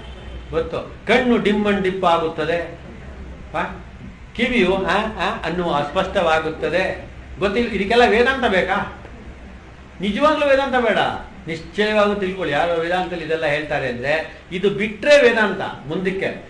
ನಾನು ಯಾಕೆ ಇದನ್ನ ಇಷ್ಟೊಂದು ಖಚಿತವಾಗಿ ಮಾಯೆಯ ಬಗ್ಗೆ ಅಷ್ಟೊಂದು ಸ್ಟ್ರೆಸ್ ಮಾಡಿ ಹೇಳ್ತಾ ಇದ್ದೀನಿ ಅಂದ್ರೆ, ನೀವು ಅದೆಲ್ಲನ ಬಿಟ್ಟುಬಿಡೋಕ್ಕೆ ವೇದಾಂತ ಬೇಕು ಅಂತ ತಿಳ್ಕೊಂಡಿದ್ದೀರಾ? ಆಹಾ, ನೋಡಿ. ನೀವು ಬಿಟ್ಟರು ಮಾಯೆ ನಿಮ್ಮನ್ನು ಬಿಡಲಾರದು. ಹೌದಲ್ವಾ? ಯಾಕೆ ಅಂದ್ರೆ ನಾವು ಸಾಯುವವರೆಗೂ ಮನುಷ್ಯನಿಗೆ ಈ ಮೂರು ಗುಣಗಳು ಇದೆಯಲ್ಲ. ಈ ಮೂರು ಗುಣಗಳು ಅಂದ್ರೆ ಪ್ರಕೃತಿ, ಅಂದ್ರೆ ಮಾಯೆ, ಬೇರೆ ಅಲ್ಲ. ಮೂರು ಗುಣಗಳು ಅದ್ರಲ್ಲಿ ಗುಣ ಒಂದೇ ಆದ್ರೂ ಮೂರು ರೀತಿಯಲ್ಲಿ ಕೆಲಸ ಮಾಡ್ತಾ ಇರುತ್ತೆ ಕಾಂಬಿನೇಷನ್ ಅಲ್ಲಿ. ಹೌದಾ? ಅದರಿಂದನೇ ಆ ಮಾಯೆ ಅನ್ನೋದನ್ನ ನಮಗೆ ಅರ್ಥ ಮಾಡ್ಕೊಳ್ಬೇಕು ಅಂತ ಅಂದ್ರೆ ಮೊದಲು ನನಗೆ ಆಗುತ್ತಿರುವ ಎಲ್ಲ ಅನುಭವಗಳು, ನನ್ನ ಶರೀರವು ಎಲ್ಲವೂ ಕೂಡ ಮಾಯೆಯ ಕಾರ್ಯ ಅಂತ ಯಾವುದೇ ಪ್ರಶ್ನೆ ಇಲ್ಲದೆ ಒಪ್ಪಿಕೊಂಡು ಬಿಡತಕ್ಕಂಥ ಭಾವ ಇರಬೇಕು. ಅದಕ್ಕೆ ಏನು ಪ್ರಮಾಣ? ವೇದವೇ ಪ್ರಮಾಣ, ಶ್ರುತಿಯೇ ಪ್ರಮಾಣ, ಶಾಸ್ತ್ರಸ್ಯ ಗುರುವಾಕ್ಯಸ್ಯ ಸತ್ಯಬೋಧ ಅವಧಾರಣಂ ಇದೆ ಶ್ರದ್ಧ. ನೋಡಿ. ಸತ್ಯ ಧಾರಣಾ ಶಕ್ತಿಯೇ ಶ್ರದ್ಧೆ. ಶ್ರದ್ಧೆಯಿಂದ ನೋಡ್ಬೇಕು. ಯಾಕೆಂದ್ರೆ ಮನುಷ್ಯನ ಬುದ್ಧಿಯು ಮಾಯೆಯ ಒಳಗಡೆ ಬರೋದ್ರಿಂದ ಮಾಯೆಯ ಒಳಗಡೆ ಬರುವ ಬುದ್ಧಿಯು ಮಾಯೆಯನ್ನು ಅರಿಯಲಾರದು. ಅದಲ್ವಾ ಹಾಗಾದ್ರೆ ಇವಾಗ ಯಥಾರ್ಥ ಜ್ಞಾನದಿಂದ ಮಾತ್ರವೇ ಈ ತಪ್ಪು ತಿಳುವಳಿಕೆ ಹೋಗಬೇಕು. ಮನುಷ್ಯನಿಗೆ ವೇದಾಂತ ಬೇಕಾಗಿರೋದು ತಪ್ಪು ತಿಳುವಳಿಕೆ ಹೋಗಬೇಕಷ್ಟೇ. ಏಕೆಂದರೆ ನೀವು ಇರುವುದೇ ಸರಿಯಾದದಲ್ಲಿ ಸರಿಯಾದಲ್ಲಿ ಇದೀನಿ ಅನ್ನೋದು ಮಾತ್ರ ನಮಗೆ ಗೊತ್ತಿಲ್ಲ. ಕಂಬಳಿ ಹೊತ್ಕೊಂಡು ಮಲಗಿದಾನೆ. ಹೌದಾ? ಅದಕ್ಕೋಸ್ಕರ ತಮಾಷೆಯಾಗಿ ವೇದಾಂತ ಹೇಳೋದೊಂದು ಮಾತಿದೆ. ನಿಜವಾಗಿಯೂ ಮಲಗಿರುವವರನ್ನ ಎಬ್ಬಿಸುವುದು ಕಷ್ಟ. ಆದರೆ, ಅಲ್ಲ ಎಬ್ಬಿಸುವುದು ಸುಲಭ. ಆದರೆ, ಮಲಗಿದಂತ ನಟಿಸುತ್ತಿರುವವನನ್ನ ಆಗುವುದಿಲ್ಲ. ಹೌದಲ್ವ? ಹಾಗಾದ್ರೆ ನಾವೆಲ್ಲರೂ ಏನ್ ಮಾಡ್ತಾ ಇದ್ದೀವಿ? ಮಲಗಿದಂತ ನಟಿಸ್ತಾ ಇದ್ದೀವಿ. ಅಂತ ಅರ್ಥ ಏನು? ಅದು ಮಾಯ ಮಾಯ ನಂಗೆ ಗೊತ್ತು ಬಿಡ್ರಿ. ಶಂಕರಾಚಾರ್ಯ, ವಾಹ್, ನಮ್ಮ ಮನೆ ಮಗಳಲ್ಲೇ ಇದ್ರಲ್ಲ. ಬಸವಣ್ಣವರು, ಏ, ನಮ್ಮ ಮನೇಲಿ ವಾರ ಅನ್ನಕ್ಕೆ ಬರ್ತಿದ್ರು. ಇವನು ಇವಾಗ ನಾನು. ಕೃಷ್ಣನ್ ಥರನೇ ನೇರವಾಗಿ ಮಾತಾಡಕ್ಕೆ ಹೊಟ್ಟೋಗ್ತೀವಿ ಆದರೆ ಕೃಷ್ಣನಷ್ಟು ಯೋಗ್ಯತೆ ನಮ್ಗೆ ಇರೋದಿಲ್ಲ. ಅರ್ಜುನ ಕೇಳ್ತಾನಲ್ಲ, ಅಲ್ಲಯ್ಯ, ನೀನು ಈಗಿನ ನಮ್ಮ ಕಾಲದವನು, ನನಗೂ ನಿನಗೂ ಒಂದು ಎಷ್ಟು ಸಭಾ ವ್ಯತ್ಯಾಸ. ನನಗೂ ಹೇಳ್ತೀನಿ ಅಂತಿದ್ಯಾ, ಸೂರ್ಯನ ಎಷ್ಟೋ ವರ್ಷದ ಹಿಂದೆ ಹುಟ್ಟಿರೋ ಸೂರ್ಯನಿಗೆ ಹೇಳಿದ್ದೀನಿ ಇದನ್ನೇನೆ ಅಂತ ಹೇಳ್ತೀಯ? ನೀನು ಹೇಗೆ ನಂಬೋದು? ಹೌದಾ? ಯಾಕೆ ಅಂದರೆ ಅವನು ಮೋಹಜಾಲದಿಂದ ಆವೃತವಾಗಿದ್ದ, ಮಾಯಾವೃತವಾಗಿತ್ತು ಬುದ್ಧಿ. ಆದ ಕಾರಣದಿಂದ ಅವನಿಗೆ ಅರ್ಥ ಆಗಲಿಲ್ಲ. ಹೌದಲ್ವೋ? ನಾವು ತಪ್ಪು ಕಲ್ಪನೆಯಿಂದ ಹೊರಗೆ ಬರಬೇಕಷ್ಟೇ ಹೊರತು ನಮ್ಮಲ್ಲಿರ್ತಕ್ಕಂಥ ಇನ್ನೇನೋ ಒಂದು ಮಾಡಬೇಕಾಗಿಲ್ಲ. ನಾವೆಲ್ಲರೂ, ನೀವೆಲ್ಲರೂ ಜ್ಞಾನ ಸ್ವರೂಪರೇ. ಹೌದಲ್ವಾ? ಇನ್ನೊಂದ್ಸತಿ ಏನೋ ಆಗಬೇಕು ಅಂತ ಅಲ್ಲ ಅರ್ಥ. ಯಾವುದೇ ಪ್ರವಚನ, ಯಾವುದೇ ಗುರು ನಿಮಗೆ ಜ್ಞಾನವನ್ನು ಕೊಡಲಾರರು. ತಿಳ್ಕೊಂಡಿರಿ. ಯಾಕೆ ಜ್ಞಾನವನ್ನು ಕೊಡಲಾರರು? ಕೊಡಬೇಕಾದದ್ದಿಲ್ಲ. ಆದ್ದರಿಂದ ಜ್ಞಾನವನ್ನು ಕೊಡಬೇಕಾಗಿಲ್ಲ. ಅರ್ಥ ಏನು? ಜ್ಞಾನವನ್ನ, ನೀವು ಜ್ಞಾನವಂತರೇ. ಹೌದಲ್ವೋ? ಅದನ್ನ ತಪ್ಪಾಗಿ ತಿಳಿದಿರುವುದನ್ನ ಆ ಇದನ್ನ ಬೂದಿಯನ್ನ ತೆಗೆಯಬೇಕು. ಹೌದಲ್ವ? ಯಾರು ಕಣ್ಣಿನ ಡಾಕ್ಟರ್ ಹತ್ರಕ್ಕೆ ಹೋದ್ರೆ ನನಗೆ ನೀವು ಕಣ್ಣು ಕೊಟ್ಬಿಟ್ರಿ. ಹೌದಲ್ವ? ದೇವರು ನೀವು ನನ್ನ ದೇವರಿದ್ದಾಗೆ ನೀವು ನನ್ನ ಕೊಟ್ಟು ಕೊಟ್ಬಿಟ್ರಿ ಅಂತ ಡಾಕ್ಟರ್ಗೆ ನಾವೆಲ್ಲ ಹೇಳ್ತೀವಿ. ಪರದೆ ತೆಗೆದಾಗ. ಹೌದಾ? ಅವರು ತೆಗೆದದ್ದು ಪರದೆಯನ್ನು ಮಾತ್ರ. ಆದರೆ ಕಣ್ಣಿನಲ್ಲಿರಬೇಕಾದ ದೃಷ್ಟಿ ನಿಮ್ಮಲ್ಲಿ ಮೊದಲೇ ಇತ್ತು. ಈಗ ಅದನ್ನು ಮೊದಲು ತಿಳ್ಕೊಳ್ಳಿ. ಏನೋ ಆಗ್ಬಿಡುತ್ತೆ? ಯಾವುದೋ ಆಶ್ರಮಕ್ಕೆ ಹೋಗ್ಬಿಟ್ರೆ ಏನೋ ಆಗ್ಬಿಡುತ್ತೆ? ಆ ತುಳಸಿ ಮಾಲೆ ಹಾಕೊಂಡ್ಬಿಟ್ರೆ ಏನೋ ಆಗ್ಬಿಡುತ್ತೆ? ಹಾಂ ಅಂತ ಅಂದ್ಬಿಟ್ರೆ ಈಗ ಆಗ್ಬಿಡುತ್ತೆ. ತಲೆಯೆಲ್ಲ ಏನ್ಬಿಟ್ಟು ರಪ್ಪ ತೊಡದೆ ಬಂದು ಮಗಕ್ಕೆ ನಿಮ್ಮ ಕೂರ್ಲೆ ಹೊಡೆಯತ್ತೆ. ಇನ್ನೇನಾಗಲ್ಲ. ಅದಾವುದು ತತ್ವ ಅಲ್ಲ. ಅದಾವುದು ನಿಜವಾಗಿಯೂ ತಿಳ್ಕೊಳ್ಳಿ. ಅದಾವುದು ಸತ್ಯವಾದದ್ದಲ್ಲ. ಎಲ್ಲವೂ ಭ್ರಮಾತ್ಮಕವಾದದ್ದು. ಹೌದಲ್ವೋ? ಅದರಿಂದ ಇದು ಭ್ರಮಾತ್ಮಕವಾದದ್ದು ಅನ್ನುವುದನ್ನು ಅರಿಯುವುದಕ್ಕೆ ನಮಗೆ ಬೇಕಾಗಿರತಕ್ಕಂಥ ವಿದ್ಯೆಯನ್ನೇ ಆತ್ಮವಿದ್ಯೆ, ಪರಮವಿದ್ಯೆ ಶ್ರೇಷ್ಠವಾದ ವಿದ್ಯೆ ಅಂತ ಹೇಳಿರೋದು ಅಂತ ಹೇಳಿ. ಸಾಕಾ ಇನ್ನೊಂಚೂರು ಮುಂದಿನ ವಾರ ತನಕ ಸ್ವಲ್ಪ ಮಾಯ ನಡೀಲಿ. ಏನ್ ಬೇಕು? ಪ್ರಶ್ನೆ ಇದೆ ಏನಾರು ಇವತ್ತು ಹೇಳಿದ್ರೊಳಗೆ? ಕೇಳಿ. ಇವತ್ತು ಏನು ನೋಡಿದ್ರಿ? ಇದ್ರೊಳಗೆ ಏನಾದ್ರು ಸಂಶಯ ಇದ್ರೆ ಕೇಳಿಬಿಡಿ. ಯಾಕೆಂದ್ರೆ ಸಂಶಯ ಅಂದ್ರೆ ಮಾಯೆ. ಅಲ್ವಾ? ಸಂದೇಹ. ನೋಡಿ. ದೇಹ ಇರೋವರೆಗೂ ಸಂದೇಹ. ದೇಹ ಹೊಟ್ಟಾದ ಮೇಲೆ ಬದುಕಿರೋರಿಗೆ ಸಂದೇಹ, ಹೋಗಿದ್ದಾನೋ ಇಲ್ವೋ? ತಿರ್ಗಾ ಬಂದ್ಬಿಟ್ಟ ಕಿಟಕಿಲಿ, ಅದು ಬೇರೆ. ಅದಲ್ಲ ಅಂದರೆ ಈ ಮೂರು ಗುಣಗಳಿದೆಯಲ್ಲ, ಈ ಮೂರು ಗುಣಗಳನ್ನು ನಾವು ನಿಜವಾಗಿಯೂ ಯಥಾರ್ಥವಾಗಿ ತಿಳ್ಕೊಳ್ಬೇಕಾದ್ರೆ ನಮಗೆ ಮೋಹ, ಅಜ್ಞಾನ, ಮಾಯೆ ಈ ಮೂರು ಗುಣಗಳು, ಪರಮೇಶ್ವರನ ಶಕ್ತಿ, ಇದೆಲ್ಲವನ್ನು ಸಾರಾಸಗಟಾಗಿ ತೆಗೆದು ಒಂದು ಕಡೆ ಇಟ್ಟು ಅದನ್ನು ವಿಂಗಡಿಸಿಕೊಳ್ಳಬೇಕು. ನಮಗೆ ಅವು ಗೊತ್ತಾಗುತ್ತೆ. ನಮ್ಮ ಬುದ್ಧಿ ನಮಗೆ ಮೋಸ ಮಾಡುವಷ್ಟು ಇನ್ಯಾವುದು ಮೋಸ ಮಾಡೋಲ್ಲ. ಯಾಕೆ ಅಂತ ನಾನು ಆಗಲೇ ಹೇಳಿದೆ ನಿಮಗೆ. ಬುದ್ಧಿಯು ಮಾಯೆಯ ಕಾರ್ಯ ಅಂತ. ಉದಾಹರಣೆಗೆ ನೋಡಿ, ನೀವು ಕನಸಿನಲ್ಲಿ ನಿಮಗೊಂದು ಕನಸು ಬೀಳುತ್ತೆ. ಕನಸಿನಲ್ಲಿ ನಿಮಗೆ ಬುದ್ಧಿ ಕೆಲಸ ಮಾಡುತ್ತೆ. ಚೆನ್ನಾಗಿ ಒಂದು ಫಂಕ್ಷನ್ ಹೋಗಿದ್ದೀರಿ ಎ ಸಿ ರೂಮು ತುಂಬ ಚೆನ್ನಾಗಿರೋ ಅಡುಗೆನ ಮಾಡಿ ಘಮ ಘಮ ಬಡಿಸ್ತಾ ಇದ್ದಾರೆ. ನೀವು ಬಾಳೆಯಲ್ಲಿ ಹಾಕ್ಕೊಂಡು ಚಂದದಲ್ಲಿ ಬಿಗಿಯಾಗಿ ಊಟ ಮಾಡಿಬಿಟ್ರಿ. ಆಗ ಕನಸಿನಲ್ಲೇ ನಿಮಗೆ ಒಂದು ದೊಡ್ಡ ತೇಗ್ ಬಂತು. ಅಬ್ಬಾ, ಇಂಥ ಊಟ ನನ್ನ ಜೀವಮಾನದಲ್ಲೇ ಮಾಡಿರಲಿಲ್ಲ. ಎಷ್ಟು ಚೆನ್ನಾಗಿರೋ ಊಟವನ್ನು ಮಾಡಿದ್ದೇನೆ ಅಂತ ಅಂದ್ರಿ. ಹಾಗೆ ನೀವು ಹೇಳಿದ್ಯಾವುದು ನಿಮ್ಮ ಬುದ್ಧಿಯೇ. ತೀರ್ಮಾನ ಮಾಡಿಕೊಂಡ್ರಿ. ಎಚ್ಚರ ಆಯ್ತು. ಎಚ್ಚರ ಆದ ತಕ್ಷಣ ವಿಪರೀತ ಹೊಟ್ಟೆ ಹಸಿತಾ ಇದೆ. ಅದೇ ಬುದ್ಧಿಯೇ ಬುದ್ಧಿ ಏನು ಬೇರೆ ಅಲ್ವಲ್ಲ, ನಿಮ್ದೇ ತಾನೆ. ಅದೇ ಬುದ್ಧಿಯೇ ಅದನ್ನ ಸತ್ಯ ಅಂದಿದ್ದು ಇವಾಗ ಹೇಳ್ತು, ಇಲ್ಲ ಅದು ಕನಸು ಸುಳ್ಳು ಅಂತ. ಈಗ ಬುದ್ಧಿ ಸುಳ್ಳು ಸತ್ಯವ? ಸುಳ್ಳೆಂದರೆ, ಸುಳ್ಳು ಅಂದರೆ ನೀವು ಕನಸಿನಲ್ಲಿ ಉಂಡದ್ದೆಲ್ಲ ನೆನಪಿದೆ. ಹೌದಾ? ಸುಳ್ಳುನಾಗಿಲ್ಲ ಸತ್ಯ ಎಂದರೆ ಎಚ್ಚೆತ್ತ ಮೇಲೆ ನನಗೆ ಹಸಿವಿನ ಅನುಭವ ಆಗ್ತಾ ಇದೆ. ಹಾಗಾದ್ರೆ ಅದು ಸುಳ್ಳು. ಸುಳ್ಳು ಸತ್ಯವ? ಅದು ಸುಳ್ಳು ಅಲ್ಲ, ಸತ್ತು ಅಲ್ಲ. ಅದು ಮಾಯೆ ಅದು ಅವಲಕ್ಷಣವೋ, ಲಕ್ಷಣವೋ, ವಿಲಕ್ಷಣವೋ? ಅದರಿಂದ ಇನ್ನು ಅದನ್ನು ಬಿಟ್ಟು ಮಾಯೆಯ ಆಚೆಗೆ ಮಾಯಾ ದೀಶನನ್ನ ನೋಡಬೇಕು ಅಂದ್ರೆ ಸದ ಸದ್ವಿಲಕ್ಷಣ ಹೌದಲ್ವಾ? ಸತ್ ಅಂದ್ರೆ ಮಾಯೆ ಯಾವಾಗಲೂ ಇರುತ್ತೆ ತಿಳ್ಕೊಂಡಿರಿ. ಅಸತ್ ಅಂದ್ರೆ ಜಗತ್ತು, ಸದಾ ಬದಲಾಗ್ತಾ ಇರುತ್ತೆ.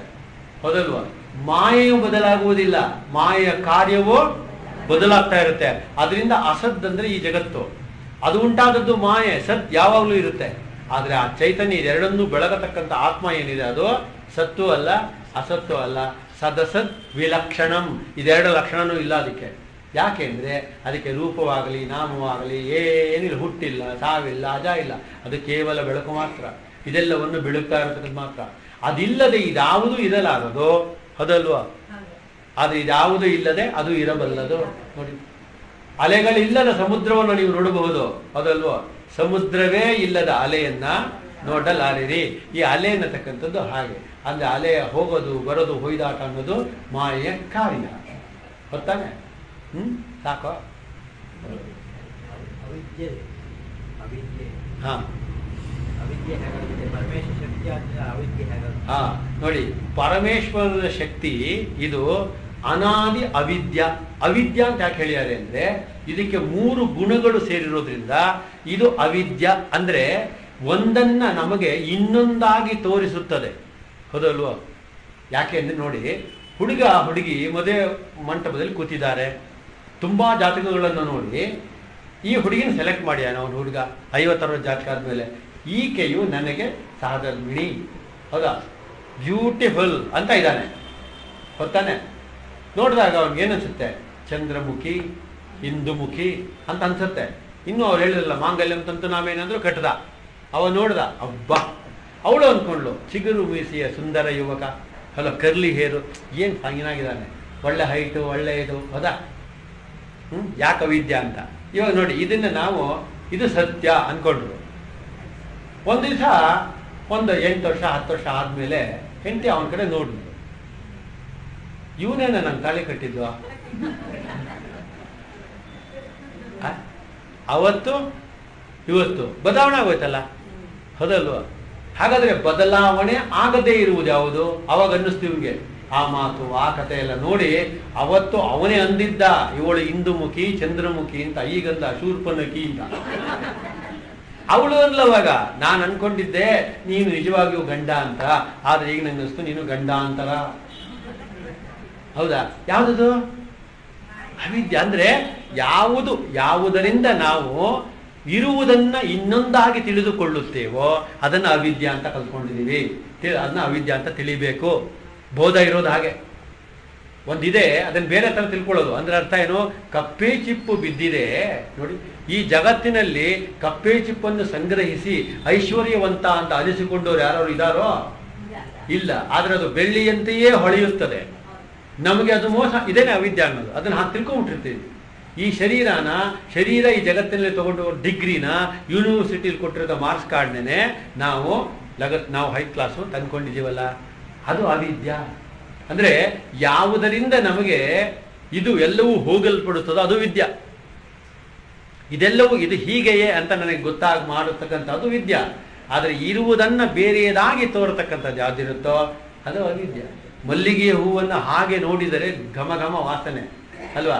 ಹಸ್ತದಲ್ಲಿಟ್ಟು ಹೊಸಗಿ ವಾಸನೆ ನೋಡಿದರೆ ದುರ್ವಾಸನೆ. ಅದೊಂದೇ ಬೇರೆಯದ ಹಾಗೆ ಕಾಣುತ್ತೆ ಬೇರೆದಾಗಿರುತ್ತೆ ಅಲ್ವಾ? ಯಾಕೆ ಅಂದರೆ ಇದೆಲ್ಲವೂ ನಾನು ಅನ್ನುವ ಆತ್ಮವಸ್ತುವನ್ನು ಬಿಟ್ಟು ಮಿಕ್ಕಿದ್ದೆಲ್ಲವೂ ಕೂಡ ಮಾಯೆ ಕಾರ್ಯವೇ ಆಗಿದೆ ಮಾಯೇ ಆಗಿದೆ ಅನಾತ್ಮ ವಸ್ತುವೇ ಆಗಿದೆ, ಅನಾದಿಯಾಗಿದೆ. ಅವಿದ್ಯವಾಗಿದೆ. ಅವಿದ್ಯೆಯ ಕಾರಣದಿಂದಲೇ ನಾವು ಇದಿರ್ಬೋದಾ ಇದಿರ್ಬೋದಾ ಇದಿರ್ಬೋದಾ ಅಂತ ಕೊನೆವರೆಗೂ ಹುಡುಕ್ತಾನೇ ಇರ್ತಾನೆ. ಹೌದಲ್ವ? ಸುಖದ ಹುಡುಕಾಟವು ಕೂಡ ಭ್ರಮ ನಿರಸನವೇ. ಸುಖವನ್ನು ಹುಡುಕಬೇಕಾಗಿಲ್ಲ. ಹೌದಲ್ವ? ಸುಖ ಅನ್ನುವುದು ನನ್ನ ವಾಸ್ತವ ಸ್ವರೂಪ. ಅಂತ ನನಗೆ ಗೊತ್ತಾಗಬೇಕಲ್ಲ? ಗೊತ್ತಾಗಬೇಕಾದ್ರೆ ಅದಕ್ಕೆ ಬೇರೆ ಥರ ತೋರಿಸ್ತಾ ಇದೆಲ್ಲ ಇದು. ದುಡ್ಡಿಂದ ಕಣೆಯ ನಿಮ್ಗೆ ಸುಖ? ಹೆಣ್ಣಿಂದ ಗಂಡಿಂದ ಕಣೆಯ ಸುಖ ನಿಂಗೆ? ಊಟದಿಂದ ಕಣೆಯ ಸುಖ? ಅಧಿಕಾರದಿಂದ ಸುಖ ಕಣೆಯ? ಅಂತ ಹೇಳ್ತಾ ಇದೆಯಲ್ಲ. ಯೌವನದಿಂದ ಸುಖ ಅಂತ ತೋರಿಸ್ತಾ ಇದೆಯಲ್ಲ. ಅದನ್ನ ಇಲ್ಲ ಅನ್ನೋ ಇದೇ ಅನ್ನುವ? ಇದೇ ಇದೇ, ಇದೆ ನೋಡಿದ್ರೆ ಆಗಲೇ ಹೊಟ್ಟಾಯ್ತು ಹೌದಲ್ವ? ಕ್ರಾಪ್ ಎಲ್ಲ ಉದುರೋಯ್ತು ಬಾಲ್ಡಿ ಏನು ಮಾಡೋಣ? ಹೌದಾ? ಅದಕ್ಕೋಸ್ಕರ ಏನು ಮಾಡಬೇಕು?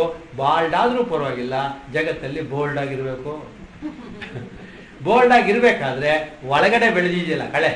ಮೇಲ್ ಬೆಳೆದಿದೆಯಲ್ಲ ಒಳಗಡೆ ಇದೆಯಲ್ಲ, ಅದು ಹೊಟ್ಟಬೇಕು ಅದಕ್ಕೇನ್ ಮಾಡಬೇಕು? ಅದಕ್ಕೇನು ಮಾಡಬೇಕು ಅನ್ನೋದನ್ನು ಮುಂದಿನ ಗುರುವಾರ ಹೇಳ್ತಾರೆ. ಯಾರು? ನಾವಲ್ಲ, ಅವರು. ನಾವು ಅದನ್ನ ನಿಮಗೆ ತಲುಪಿಸಿಕೊಡ್ತೀವಿ ಈಗ ಮಂಗಳಾಚರಣೆಯನ್ನು ಮಾಡೋಣ.